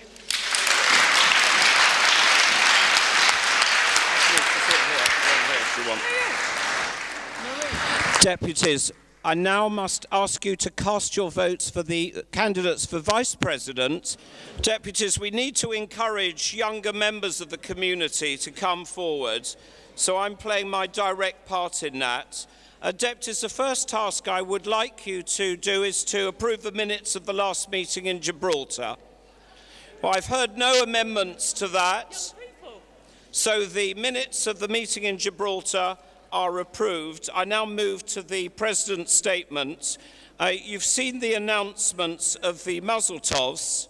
I would like to add a Mazel tov to Eleanor Lind, the Deputy for New London Synagogue, on reaching a special birthday, and also uh, her 55th wedding anniversary. Mazel tov to Eleanor. There's also a muzzle to Richard Benson, the Deputy for CST, on the birth of his first grandchild, Taylor. Um, deputies, Mazel tov also to uh, Netta Barzilai on winning the Eurovision Song Contest.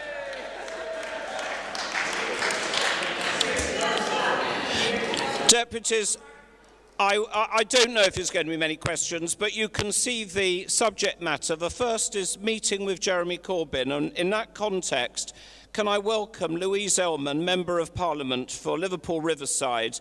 Louise, we have been so moved and strengthened by all the dignity that you have shown, most recently in that memorable debate in the House of Commons on anti-Semitism.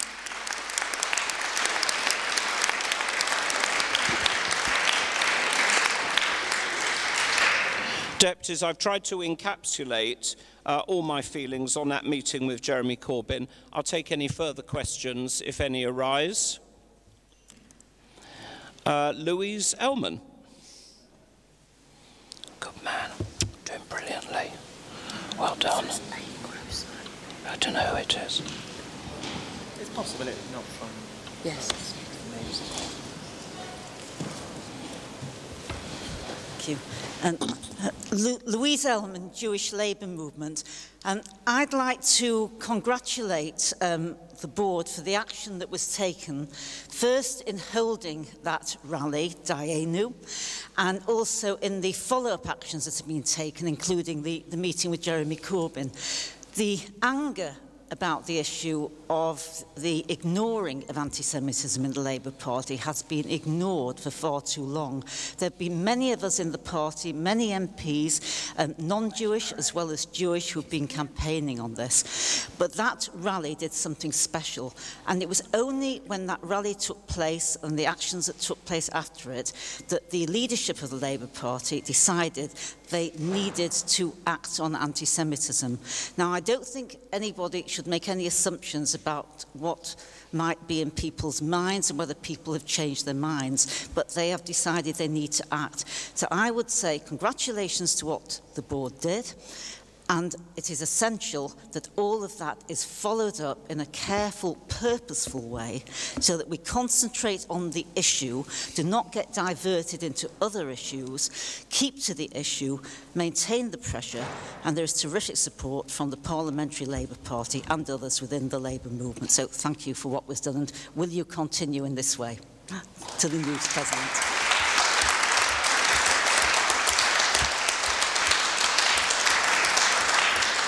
Flo Kaufman.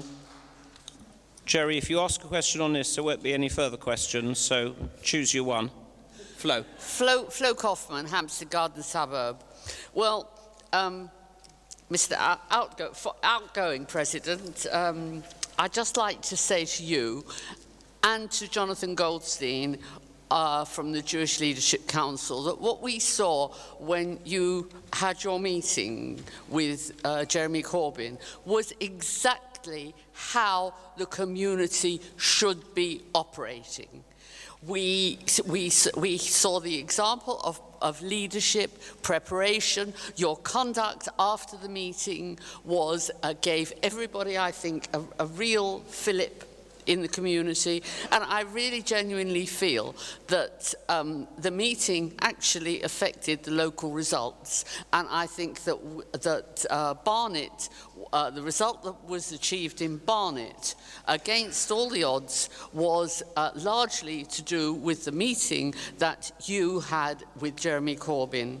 And I'd also like to say that, you know, meetings like that don't just happen overnight. There was a huge amount of preparation involved by, by those who attended the meeting, by uh, Gillian and um, by uh, everybody else who was involved in part of it. And it showed. And I say to you, Marie, that you're the next president of the board, the new president of the board. You have got an example in front of you to continue, and I know that you will continue working with the JLC and with other communal organisations. And I'd like to be the first to congratu congratulate you publicly on your wonderful achievement. Jerry, uh, and then Malvin Benjamin. Jerry Lewis, first of all, I echo what Flo has just said, and lovely to see you back, and I wish you a full, speedy recovery. Mr President, I know you will have some comments to make a little later, but we should just say farewell to a number of very distinguished deputies who are retiring on this occasion. I'm not going to single out any individuals, but they know who they are. But Mr President, I think it's worthwhile you just pointing out that they have contributed richly to the board over many, many years. it is not usual for me to praise you. You don't need to, Jerry. This guy came to our shul yesterday in the rain. He gave a superb presentation and kol to him for the work he did especially in this last few months. He really does deserve credit for being able to deliver a very useful position for the community to be in, where we now have an ability to shape how the Labour Party may go in the future. May I just draw to your attention, sir, there is a whole issue of the definition. And Simon Johnson revealed that the issue wasn't answered by Jeremy Corbyn himself. In fact, he was silent. It was Seamus Milne who did all the arguing about the definition. I see him every week in the lobby and in Parliament, and I have tried to pin him down. He is adamant that the Labour Party never accepted all the definitions, and that is going to be a big bugbear people should understand Corbyn himself is no way anti-Semitic, but the people around him definitely are. And one of the chief people amongst those, I'm not going to call him anti-Semitic, but he's right on the verges of, is Seamus Milne. He shapes what goes on in the Labour Party. What we need to be much aware of, and I hope people will understand why I'm saying this, there's always buses running up and down Whitehall. People sometimes go under them. And if anything happens to Corbyn in the near future, as things stand, McDonnell is the next in line from that wing of the party. He's a very different kettle of fish. He's very shrewd. I've known him a very long time. But the party, and Marie, this will be your pigeon, will have to start thinking on tactics on how to deal with possible future leaders, and McDonnell is one of them. Thank you, Jerry. I thank you for the work you've done, Mr President, and I wish you a happy and successful retirement. Thank you.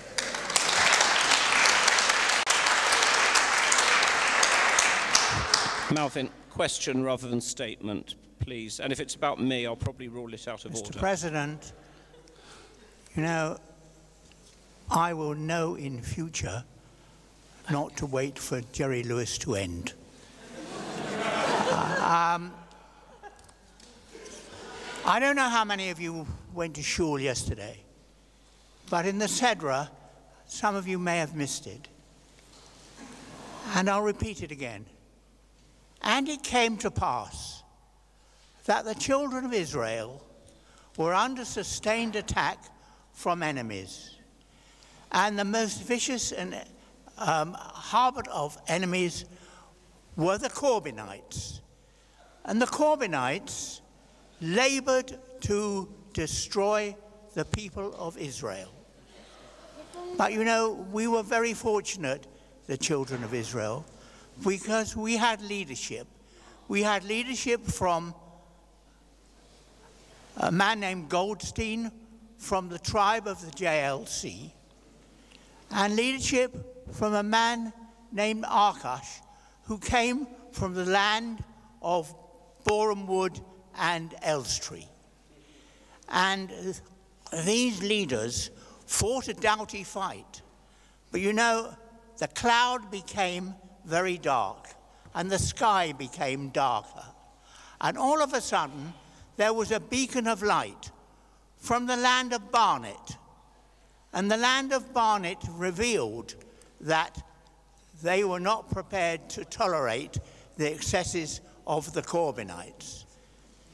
But you know, also, the children of Israel were dismayed because they found that one of their leaders was departing the battlefield and going back to the land of Elstree and Boreham Wood. And they were dismayed and they were upset. But, ladies and gentlemen, they were also very pleased to have inherited his leadership. And they thanked Hashem and they thanked all of those who supported them for the leadership qualities that Arkush had shown over the years. so they wished him well, as we do today in this hall. Thank you very much Thank indeed you, for everything that you have done for us. I'm not forgetting just- Richard well, Verber as well. Uh, I'm just going to answer questions by pledging that I believe that the board will continue, uh, together with our allies across the communal scene, to hold the Labour Party to account, in all its, all its politicians, not just the leader, uh, and as we've said here, with clarity and resolve. And that will fall to, that task will fall to my successors, and I have no doubt at all that they will be ready and up to the task. Uh, Iran nuclear agreement, anything w- want to add on that? Um, the concerns we have are obvious and uh, all of us share them. The regional weekend in Gibraltar was a wonderful success, uh, save for the weather. Douglas Ryan from Gibraltar is here. Douglas, please wave. Huge Douglas, again, please convey our warmest greetings to the community that received us with such friendship and warmth. It was an amazing regional occasion. Uh, it will long be remembered. Thank you. Uh, the re-election of Stuart. Um, Stuart, thank you. Thank you for being a really outstanding treasurer.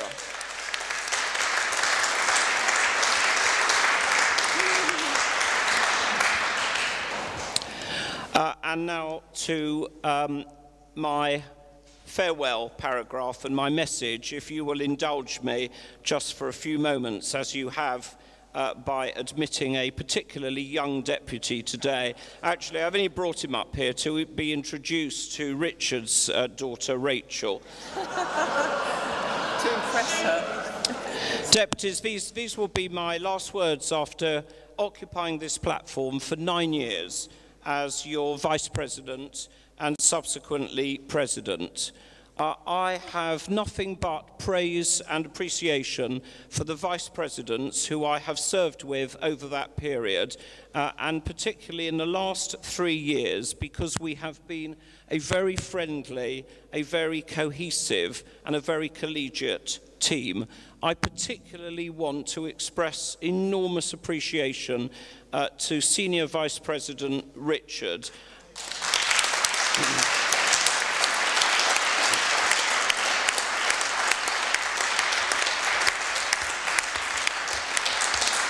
Richard, you have been an amazing colleague. Uh, your judgment uh, and your skill on so many issues have been invaluable.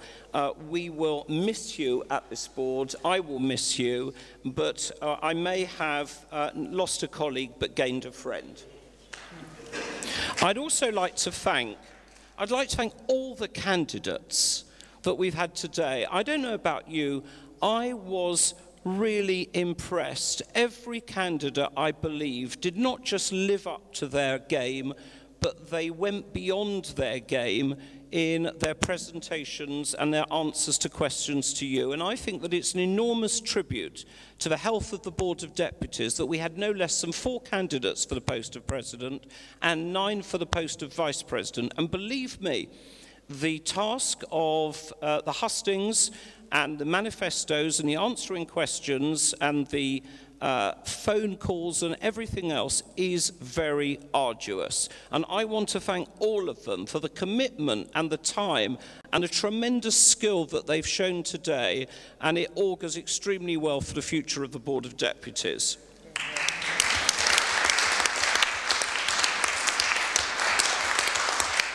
I also want to express thanks to those deputies who are standing down um, including at least one former honour officer, Lawrence, after I think 44 years, Lawrence at the board.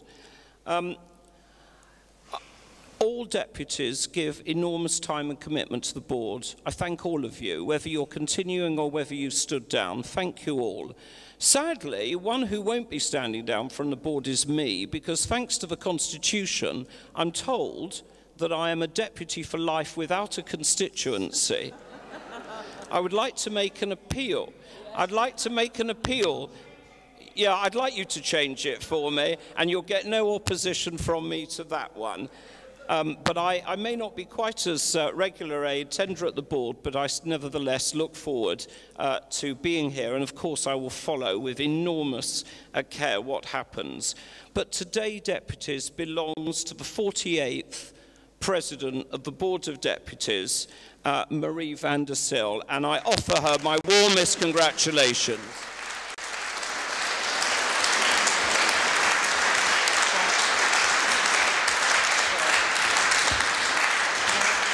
I've been proud to serve with Marie, who succeeded me as chair of the Defence Division. She has been an absolute stalwart, tireless and effective and utterly committed, and I know that she will make a very, very fine president of this Board of Deputies. I also want to thank all of the staff who have given so much today. You've probably seen them all here today. They have worked exceptionally hard to deliver what I hope you will agree was a very skillfully and professionally conducted election with a lot of choreography, but a lot of hard work in making sure that we get it right, and I thank all of them.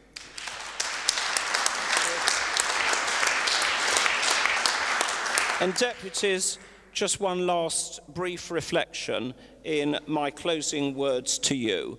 You know that I have always stood for the Jewish people and for our community, of which I am endlessly proud, to stand tall and to stand fearless and to be proud of our values and our history and our traditions, and in our determination to continue them, sometimes against great odds. There is one word in the Tanakh which sums it all up for me, and it's a word not so well known, although it occurs in the benching, and it occurred in the Sedra of uh, Bechukotai, which we read yesterday, and I think it's the only or one of the only mentions of that word in the Torah, and that is komamiut. Komamiut, standing upright, usually expressed in contradistinction to slavery. When you're a slave, you're not upright. You have no independence, you have no free will, and you are shackled. And the opposite to that is the concept in which I would like the Jewish people and the world's only Jewish state always to take pride in, and that is komamiut. The Board of Deputies has, I believe, never stood taller in our community, in living memory, and perhaps well beyond than it has now. And that is a legacy that I'm extremely proud to hand on to Marie. And as we closed yesterday the book of Vayikra, I want to close today with exactly the same words. Chazak, chazak, benit chazek. Let us be strong, let us be strong together, and all of us will be strengthened. Deputies, thank you so much.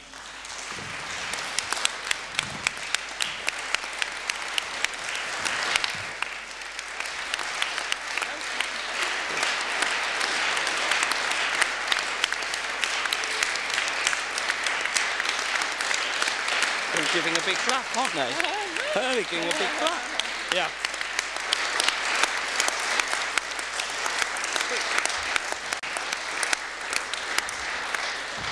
Now, I know there won't be any questions uh, on that.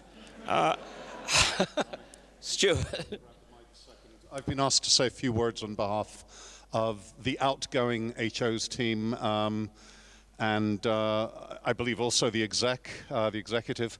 I, I, think the same applies to the board's professional staff and um, the deputies in general. In fact, the entire community. Um, Johnny, you have taken the board and left it in so much better a shape than when you found it, both in terms of external representation, also in terms of uh, our reach our standing within the community.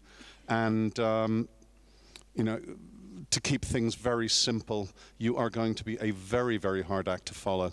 But uh, I'm sure I'm not going to be the last person to ask the deputies to give you another round of applause for a spectacular job.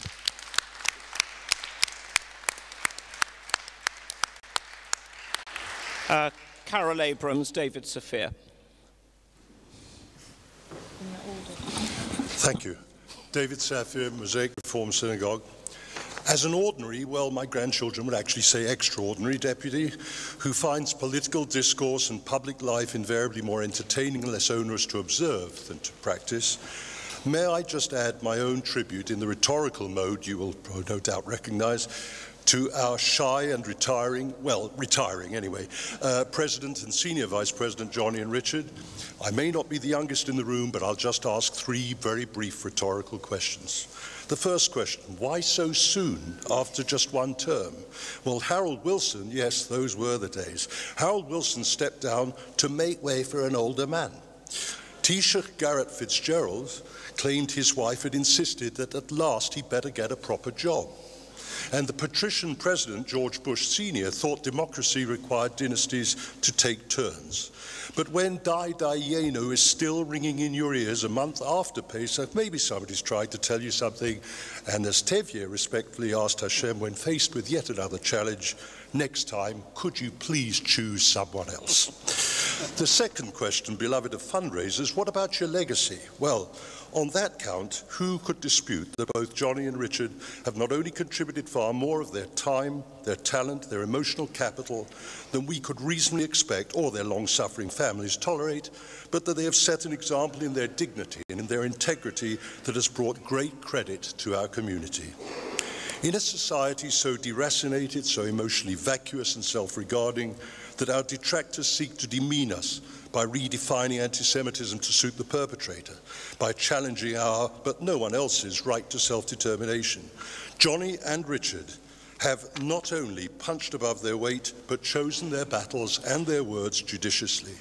Whatever the context, wherever the conversation, they've not only defended our community and all we cherish, but articulated the values, the aspirations that make us a beacon to all humanity whether explaining Brit Mila in Iceland or bringing food to war-torn Ukraine, calling out incipient Holocaust denial in Poland, or even challenging the forced resettlement of refugees from, yes, Israel.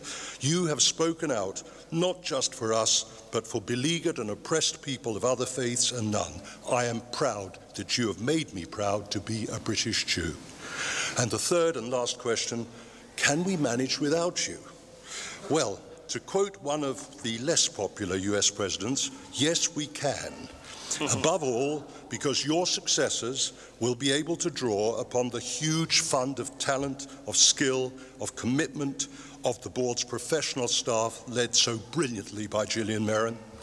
And ironically, I believe the only person, Gillian, at the meeting with Corbyn who's actually served in a Labour government, as well as the experience, expertise and dedication of deputies, whether in divisions and working groups, plenaries and events, or back in their communities. So, I think I can close by saying we can safely say to you, Johnny, thank you and see you soon. To you, Richard, and I'm sure you will understand, большое спасибо and das vidania. And although the last year may have seen the 100th anniversary of Balfour, the 70th of Israel, it also brought to you both a daughter and a grandson. Your joy is our delight. Now go and spend more time with your families.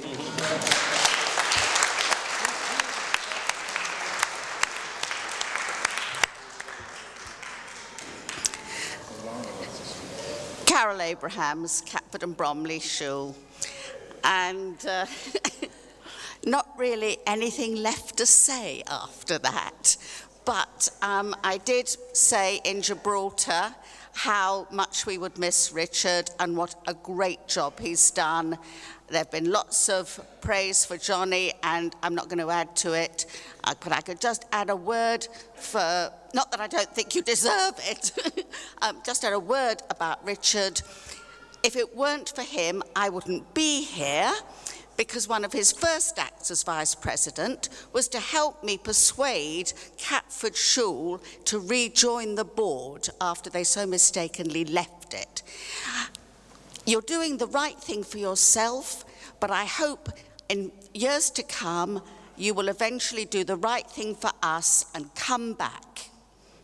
Good luck.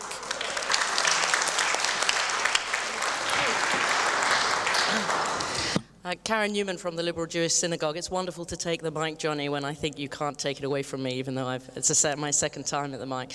Um, I just want to say very briefly that to you, Richard, it was an absolute privilege and a pleasure to serve on the group that you chaired to try and look at governance reforms within the board. And although democracy did exactly what it should do, which is tell us whether there was support for those measures or not, and there was not support for some of them, I think there are inklings that there may be some elements elements of those changes that could be useful. Uh, when we were talking about tenure, some of us said, well, it's asking turkeys to vote for Christmas, but I rather like what the deputy who said, actually, it's like asking chickens to vote for soup. Uh, I think that captures it better, and I suspect that that debate won't go away. Um, to you, Johnny, I think my first interaction with you was when you telephoned me, canvassing me for support for your presidency, and I said, Johnny, I feel it only fair to tell you I'm on Laura Marks's team, uh, which I was, and you then paused for a nanosecond and then said, well, could you think of putting me as your number two? And I thought, here's a man who's focusing on the core issues here. Um, my first meeting on the executive was quite uncomfortable for me because I felt duty bound to say something about what my constituents felt about the Jerusalem decision, with which I absolutely did not agree with you. Uh, but I have to say, from my perspective again as a progressive deputy, what you have been doing and what you have been leading over the past two months have been absolutely sensational. You have led us with coherence, with courage, with clarity, and with absolute precision, and you have put the board where I certainly don't remember it being in my lifetime. Yes, you've done it with the help of a fabulous professional staff, and I've one of the people who have every confidence that your legacy is in absolutely safe hands with Marie van der Zyl. But I want to take this moment again to say thank you to you for your leadership and your courage. Thank you, Johnny. Well, Mr. President, um, let me just say that uh, it's a historic day for me because I've seen seven presidents before me and six presidents after me, and I know the tremendous responsibility which falls upon the president of the day. And of course, it's only right that this meeting today should be the day after we finish the book of Leviticus that was, that, that was finished yesterday. That was the end of one book. And a new book, the book of Numbers, starts, starts this coming Shabbos, and therefore, a new, uh, and there's a new chapter in the history of the board. But you know, you've mentioned the words chazak, chazak, v'nis chazek. Please look at the very first chapter of Numbers, because the following words do occur in the very first chapter. In the first person who's called up for Cohen, the words appear, Eder Kerue Hoedor. These are the elected members of the congregation. And Rashi makes a great comment upon this when he says, These are the elected members, the new honorary officers, but Rashi says, you, you must interpret the word kerue rather as the word kurie, because when they're elected, they're there to lead the congregation, and we look upon the new officers to lead the board, and, and, and this we will have great confidence. And of course, if they are career aid or they lead the congregation, then they will become the CEO aid or the princes of the congregation, the princes of the community. And we wish you well in your retirement, Mr. President, and we wish Marie van der Zyl and the new officers to be subsequently named every success, and, and, in them we would have every confidence.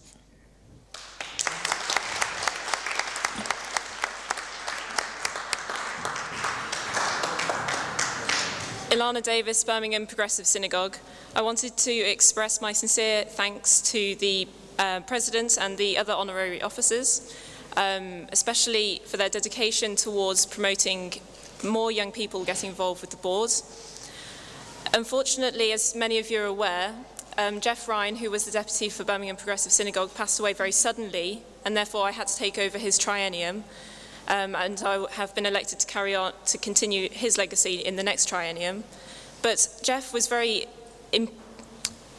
sincere and kind in finding me a young person in the community to mentor, and he made it his duty to try and get more young people involved at the board by finding somebody to take over from his role. And I thought that was a really effective way of getting more young people involved. And each of the honorary officers have made it their task to express some kind of support in whatever way that they could to help young people thrive in the community that we have here. And I'm very grateful for all their support. Thank you very much.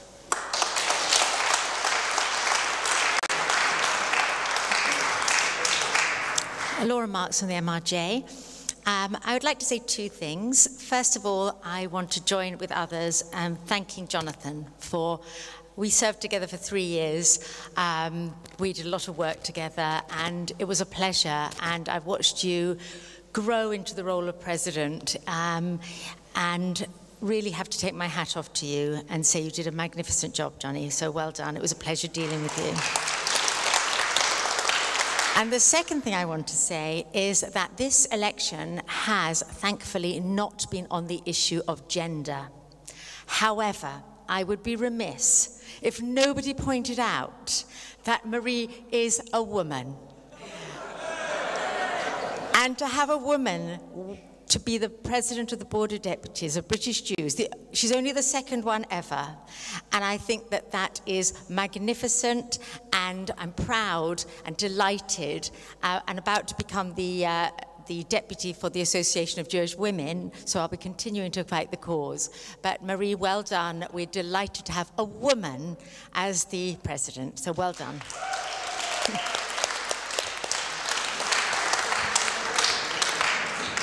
Jonathan, you and I have disagreed on practically everything.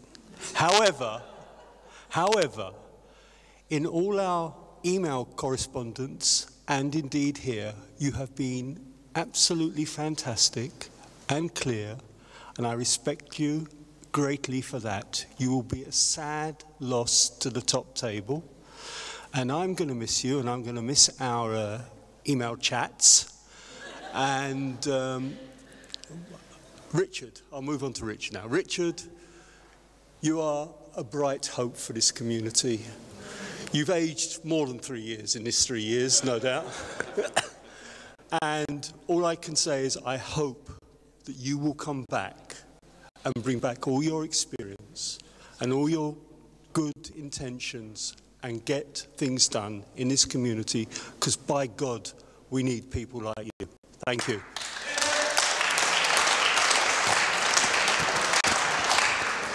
Deputies, I'm told that there is a fair bit of number crunching to go for the election of vice presidents. So I think what I had better do is suspend the meeting. I do understand it's been an awful long time for people to wait, especially if they haven't had a, a, a meal break or anything.